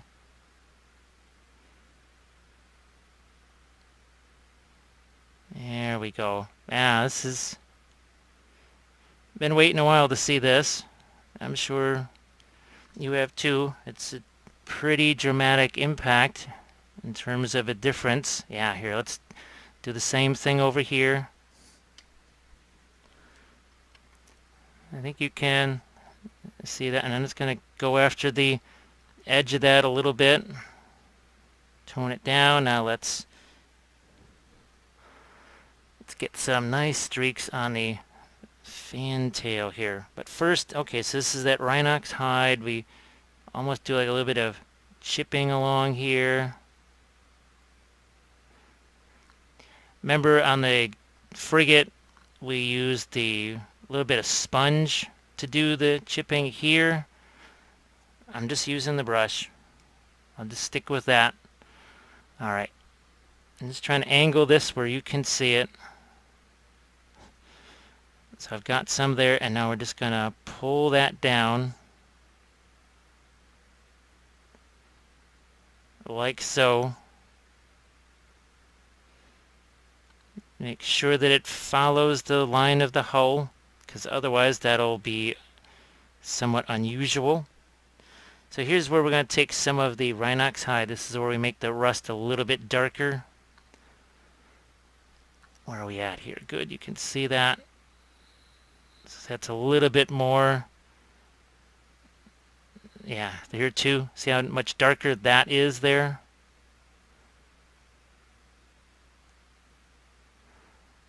So in places maybe where you've got one of the darker bits of the dazzle and you just want to have some rust there that's maybe going to show up on it, you take that darker, that slightly darker version of the rust there. We need to get the underside of this platform just like the other side. So get my brush here that just sort of absorbs some of that. And here, see that's it's not so much a specific rust streak, it's more just see how much we can do some soft stuff here. So I wanted to show you a couple of different ways of applying this. Here, let's, that's why I left this side be. I can do some really nice soft streaks here. We can intensify those like that. And see we can get some nice just flows right down the side of the bow.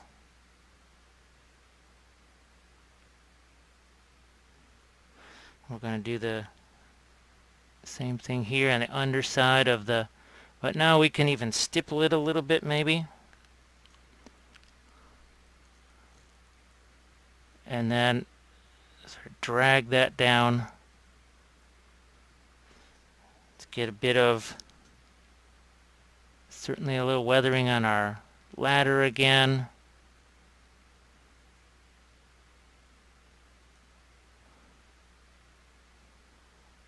And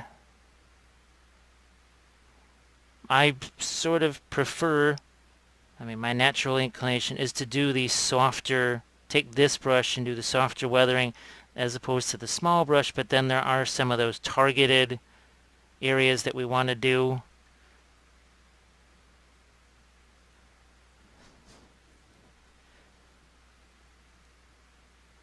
Now you do have a much, that's the difference though between this and the oils, is you're going to have a way shorter working time.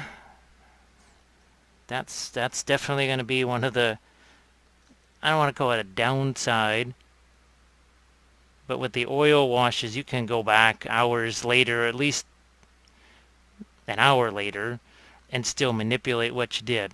This, not so much, going to be a diff different story altogether. Alright, let's get some rust effects up here too.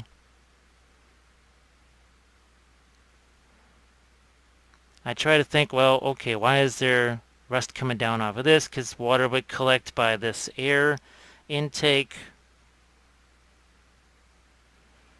Trying to think, where would the crew be very frequently? And, and try and think along the lines of putting some chips and rust there.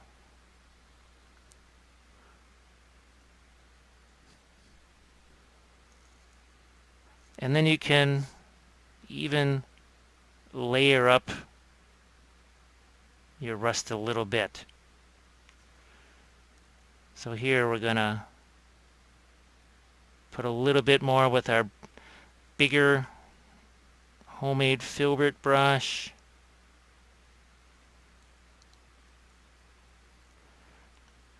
And it is, it's a very light touch here. You want to make sure you have a light touch with this.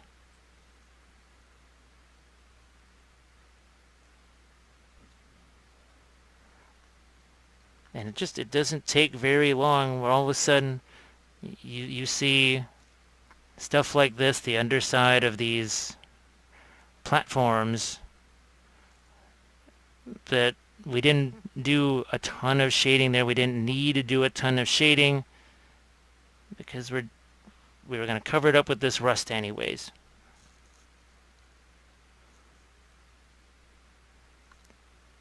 So why why kill yourself doing that?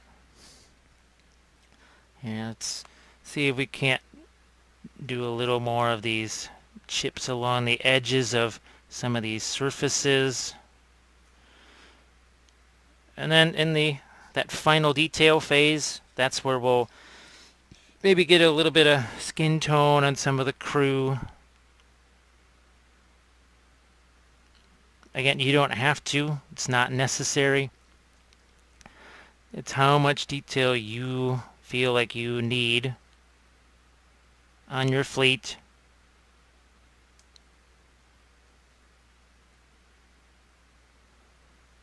Yep, the windows, I probably will get in there and get some more blue on those off camera because it's just impossible. I tried uh, off in between filming. I tried to get my snoot in there and see if I could actually paint that on camera. It's just too difficult.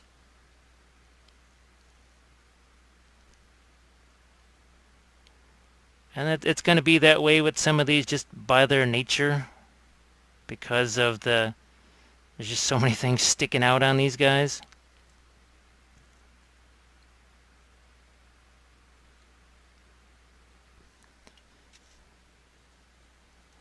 Now I think this will be a this little rust combination here. I can't wait to try this now on on some vehicles. I think it's going to be really fun.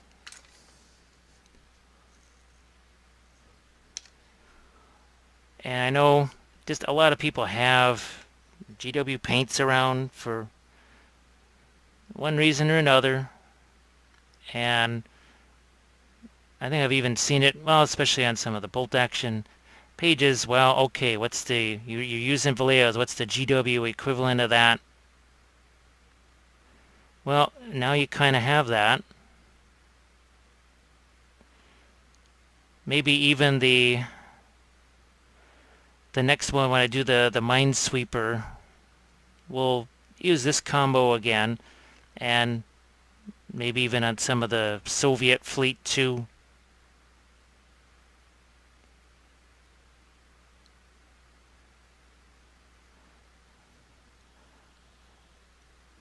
And if it starts to look too orange, you can always you add a little bit of the green to it.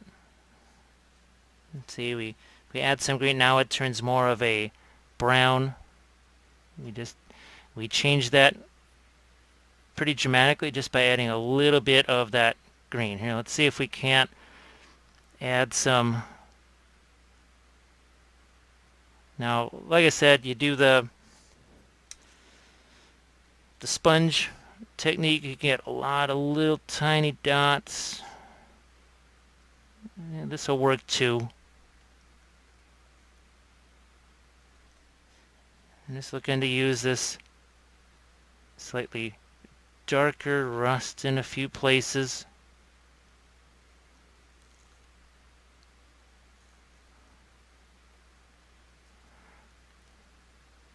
And they just some of these subtle long lines like this that you don't really even notice.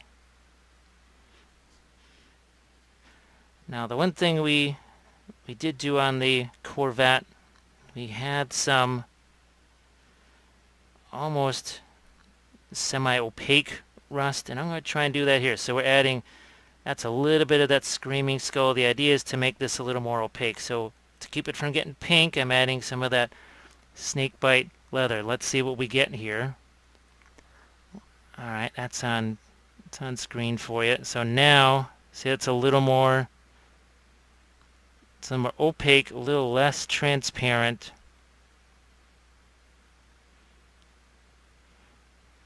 And we're just going to do things like this so that, that maybe the rust, it's not always coming from the, the gunnel there, maybe from a few other sources was in port or whatever, was rubbing up against the, the dock and some of the paint scratched away, that sort of thing. Now let's see if I'm going to try and get this one step later here. We'll see what we get because my, I, my plan is right here over this darker bit of the dazzle. Yep, that's what I was hoping to do. So see, we have the dark on the light now we've got some of the lighter rust over the dark. We're going to do some of that over here. It's one of my favorite little tricks to fool around with. Because as much as the those rust streaks help to set some of the lighter colors towards the background, doing the lighter rust like this helps to set some of those darker colors more towards the background. And we're doing that right there. And here's another good example of it right in here. Just like that. And certainly wherever it's dark like this, There's a, we don't want to get too light with it, but rust can actually be a very light color. It's not always just dark over light. If you check out, like I said, I'll try and in the description link up a few of my other tutorials, especially things like the the Flammpanzer and my those those objective markers that I made. Uh, I was painting those I think there there could be some interesting ideas there for you to see. That would where you'd also see the secret weapon paints kind of in full view.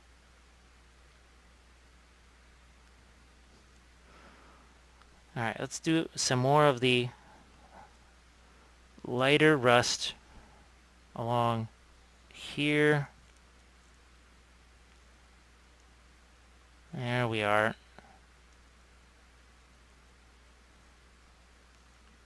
I It just it happens that a lot of these portals ended up where the darker part of the dazzle was.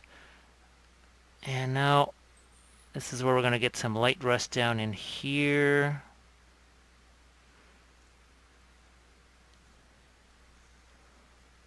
Oh, I think we need a couple of streaks there too.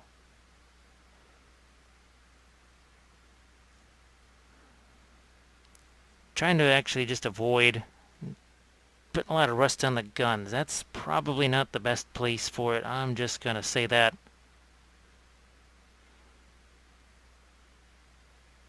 Now if it's a, you got a sub or something like that where that gun is now submerged for a fair portion of time, that's a little different story.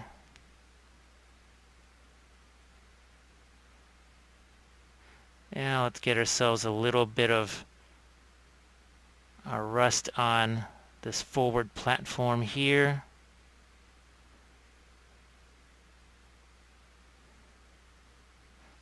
And we've got decent amount of activity on the masts too.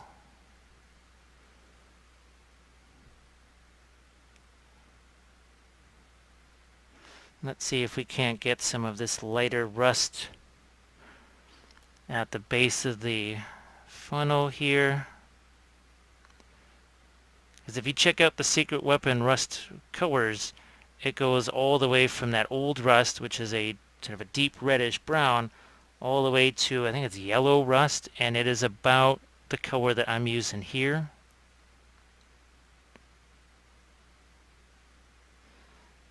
We should certainly get some in this area too.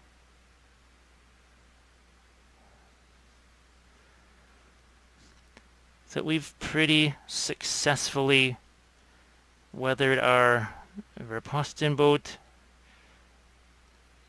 And at this point now we're just refining things. So I am going to, in the next segment, actually we're going to be taking some of this rust color because it's pretty close to our skin colors. See what we can do on the crew and get just a little bit of colors on them too. So that, like I said, that's relatively, that was pretty successful experiment there. So now we're gonna, I might uh, actually get the camera more closed in, uh, shoot it in maybe one or two levels in a, in a zoom, and then we'll see what we can do on our crew here. So we'll be right back with that. Let's see what we can do to finish some of this off. Now, looking at the picture and some of the references that I had, actually in the uniforms you had a little bit of a light grayish blue, so I'm actually going to take some of the Leviathan blue here, mixing up with that Fenrisian gray, and we'll put that on some of the sleeves here, maybe even some of the gun barrels. And I also noticed that the gun shields, they were a, a lighter color, so I'm going to add a little more light to those as well. So there where you've got the, the pants, trying to get a little bit of that lighter blue there. And as far as the skin color goes, I can just take that rust color because it's pretty much what I normally would use as a skin tone. Just we'll mix a little bit of the probably Screaming Skull with it, I would say. Here, maybe a little more Leviathan blue, knock that down. And as I said, if you're not quite so comfortable mixing the contrast paints with regular paints. This way you don't necessarily have to. I just uh, enjoy that, that semi-translucent feel. That's me, presents me with a lot of different options. And it, it, like I've said all the way through this, however much you want to refine this, you know, for me, I would certainly spend a couple of more hours at least doing those refinements, Megan. something have a little more depth and color. You know, like this blue that you see me, this bluish gray. This would probably going several more places. See even here maybe a little bit on these boats. It just it breaks things up a little bit so not everything is exactly the same color.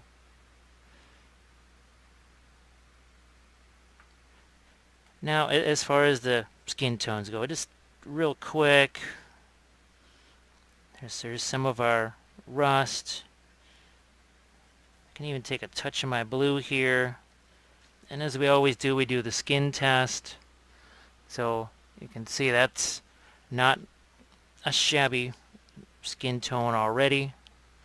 Now there's going to be a little bit of a mast in the way. Trying to rotate that around. So you can see, there we go. A little bit of the skin color there. Especially on your bridge staff right here. That is important. Gun crew is a little more difficult because they have their there's just so much right up against the those AA weapons. It's hard to get at their faces. Easier just to hit the helmets. Now here, a couple of guys we can do a little bit more with the skin tones on them. Then I'll go back to my... I was surprised when I looked at the reference. I said, wow, you know, the instead of that darker color, the weapons are actually on the lighter side. So I was a little bit surprised by that. I had to make an adjustment. Now, who knows? The one reference that I showed you, there was no dazzle on the ship whatsoever. That black and white photograph.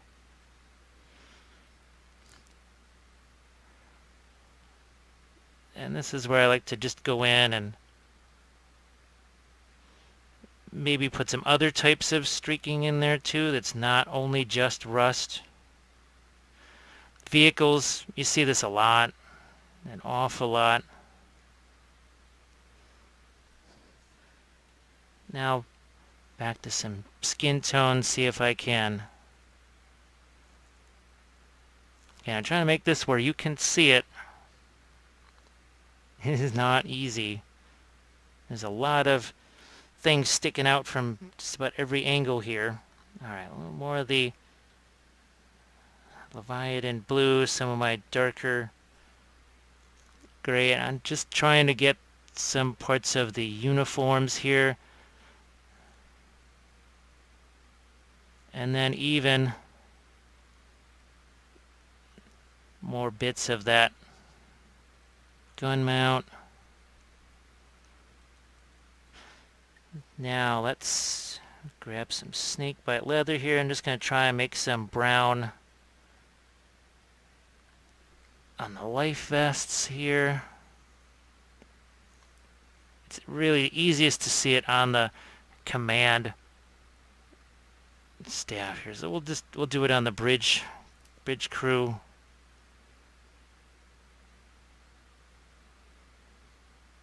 And yeah, this guy here you can can see him fairly well. the metal crew like this, sometimes things get a little fuzzy. There's parts where I can't quite tell, is that flash or is that supposed to be there? Gonna put a little bit more planking in some areas here. And it's pretty simple. It's just a little quick brush stroke here and there.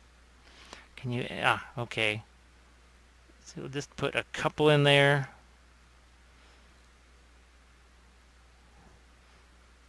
Couple in here. What would be interesting, if you were thinking of this as, say, operating in the, the Baltic Sea or whatever, you know, it's offering some anti-aircraft support around, uh, say, assault on or something like that, or in the in the North Sea, it could be interesting to put some snow and ice on this. That could be really interesting. Of course, you'd have to get some crew guys trying to hack that stuff off of there so it doesn't get too hop, top heavy and heel over. I think of it, you know, snow piled up on these guys and icicles hanging down. Bombs. Ah, well, okay. That is maybe that's something that needs to be done. Oh, maybe on the Russian. Oh, there we go. Okay, that's a plan. we'll do that on the Soviet ships. We'll get some snow and ice on them. Because they're certainly operating in an area where you would have that going on. Baltic, North Sea. Yeah, I'm gonna... I gotta try that. I think that would be really fun. It would certainly set it apart from my Italian Navy. Sunning themselves in the warm Mediterranean. And your Kriegsmarine and Soviets fighting it out in the bone-chilling waters of the Bay of Finland or whatever. And a couple of streaks, all that stuff helps to break up that your camo pattern here. Let's do right about here. I, I like this. Here, I want to get another one of those somewhere else. Especially since we're close up. So, so I just use the side of the brush like that. And then I'm going to kind of subtract some of that away. And then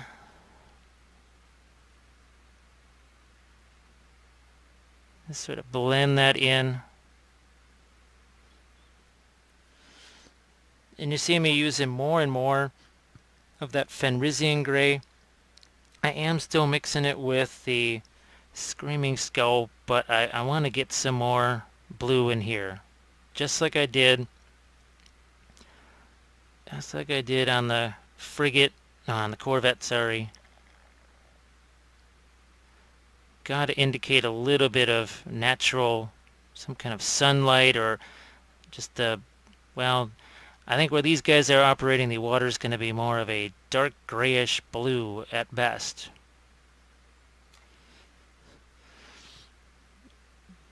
So I think that we have a plan now for episode 3 of Cruel Seas. We are going to not just have maybe even 3 and 4, depending if I keep going with the Soviet and Kriegsmarine. I mean, they're both going to be fighting each other. That could make for some interesting terrain, too. Some snowy islands or heck, maybe even some small ice floes or something.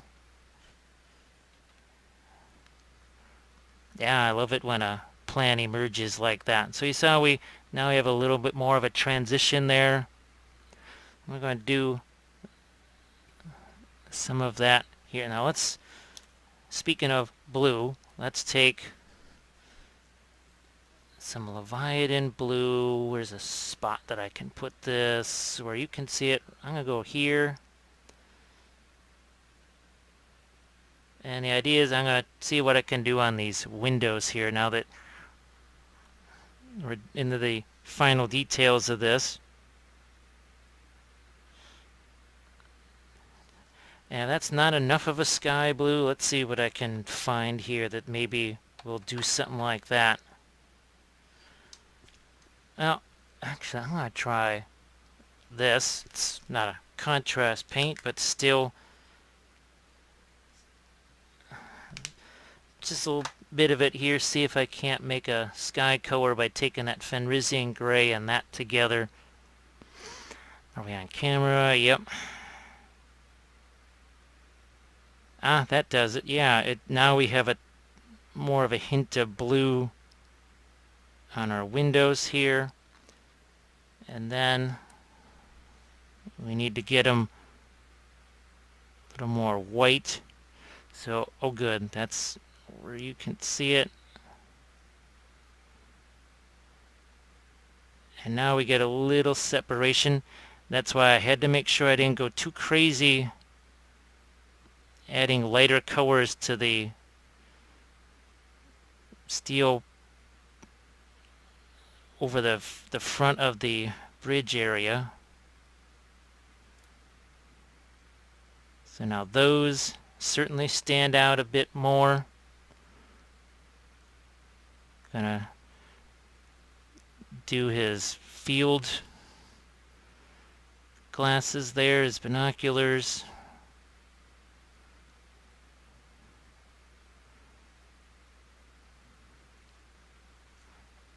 Going under the upper reaches of these housings.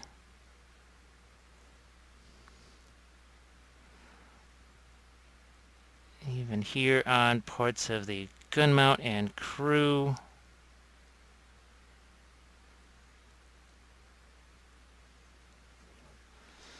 Let's go even a little lighter here.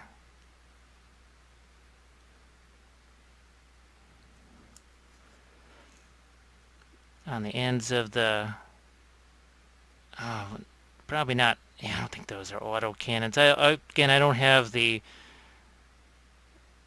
weapon sheet in front of me. It's just is more focused on the painting itself this time. I know I always like to discuss strategery and how you're going to use things in games.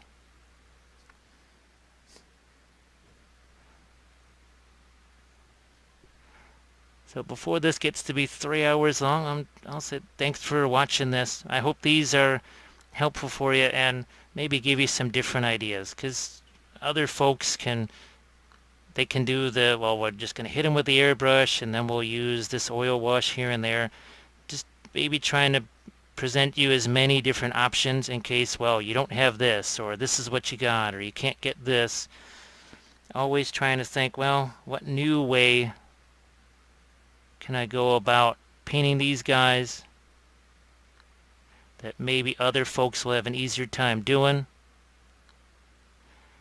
and, and trying to keep the cost of the materials reasonable to say the least. So thanks a lot. I appreciate you guys watching. You know, you do the do a like or subscribe. I guess uh, the bell notification thing, that'll let you know when I'm doing one of my live sessions.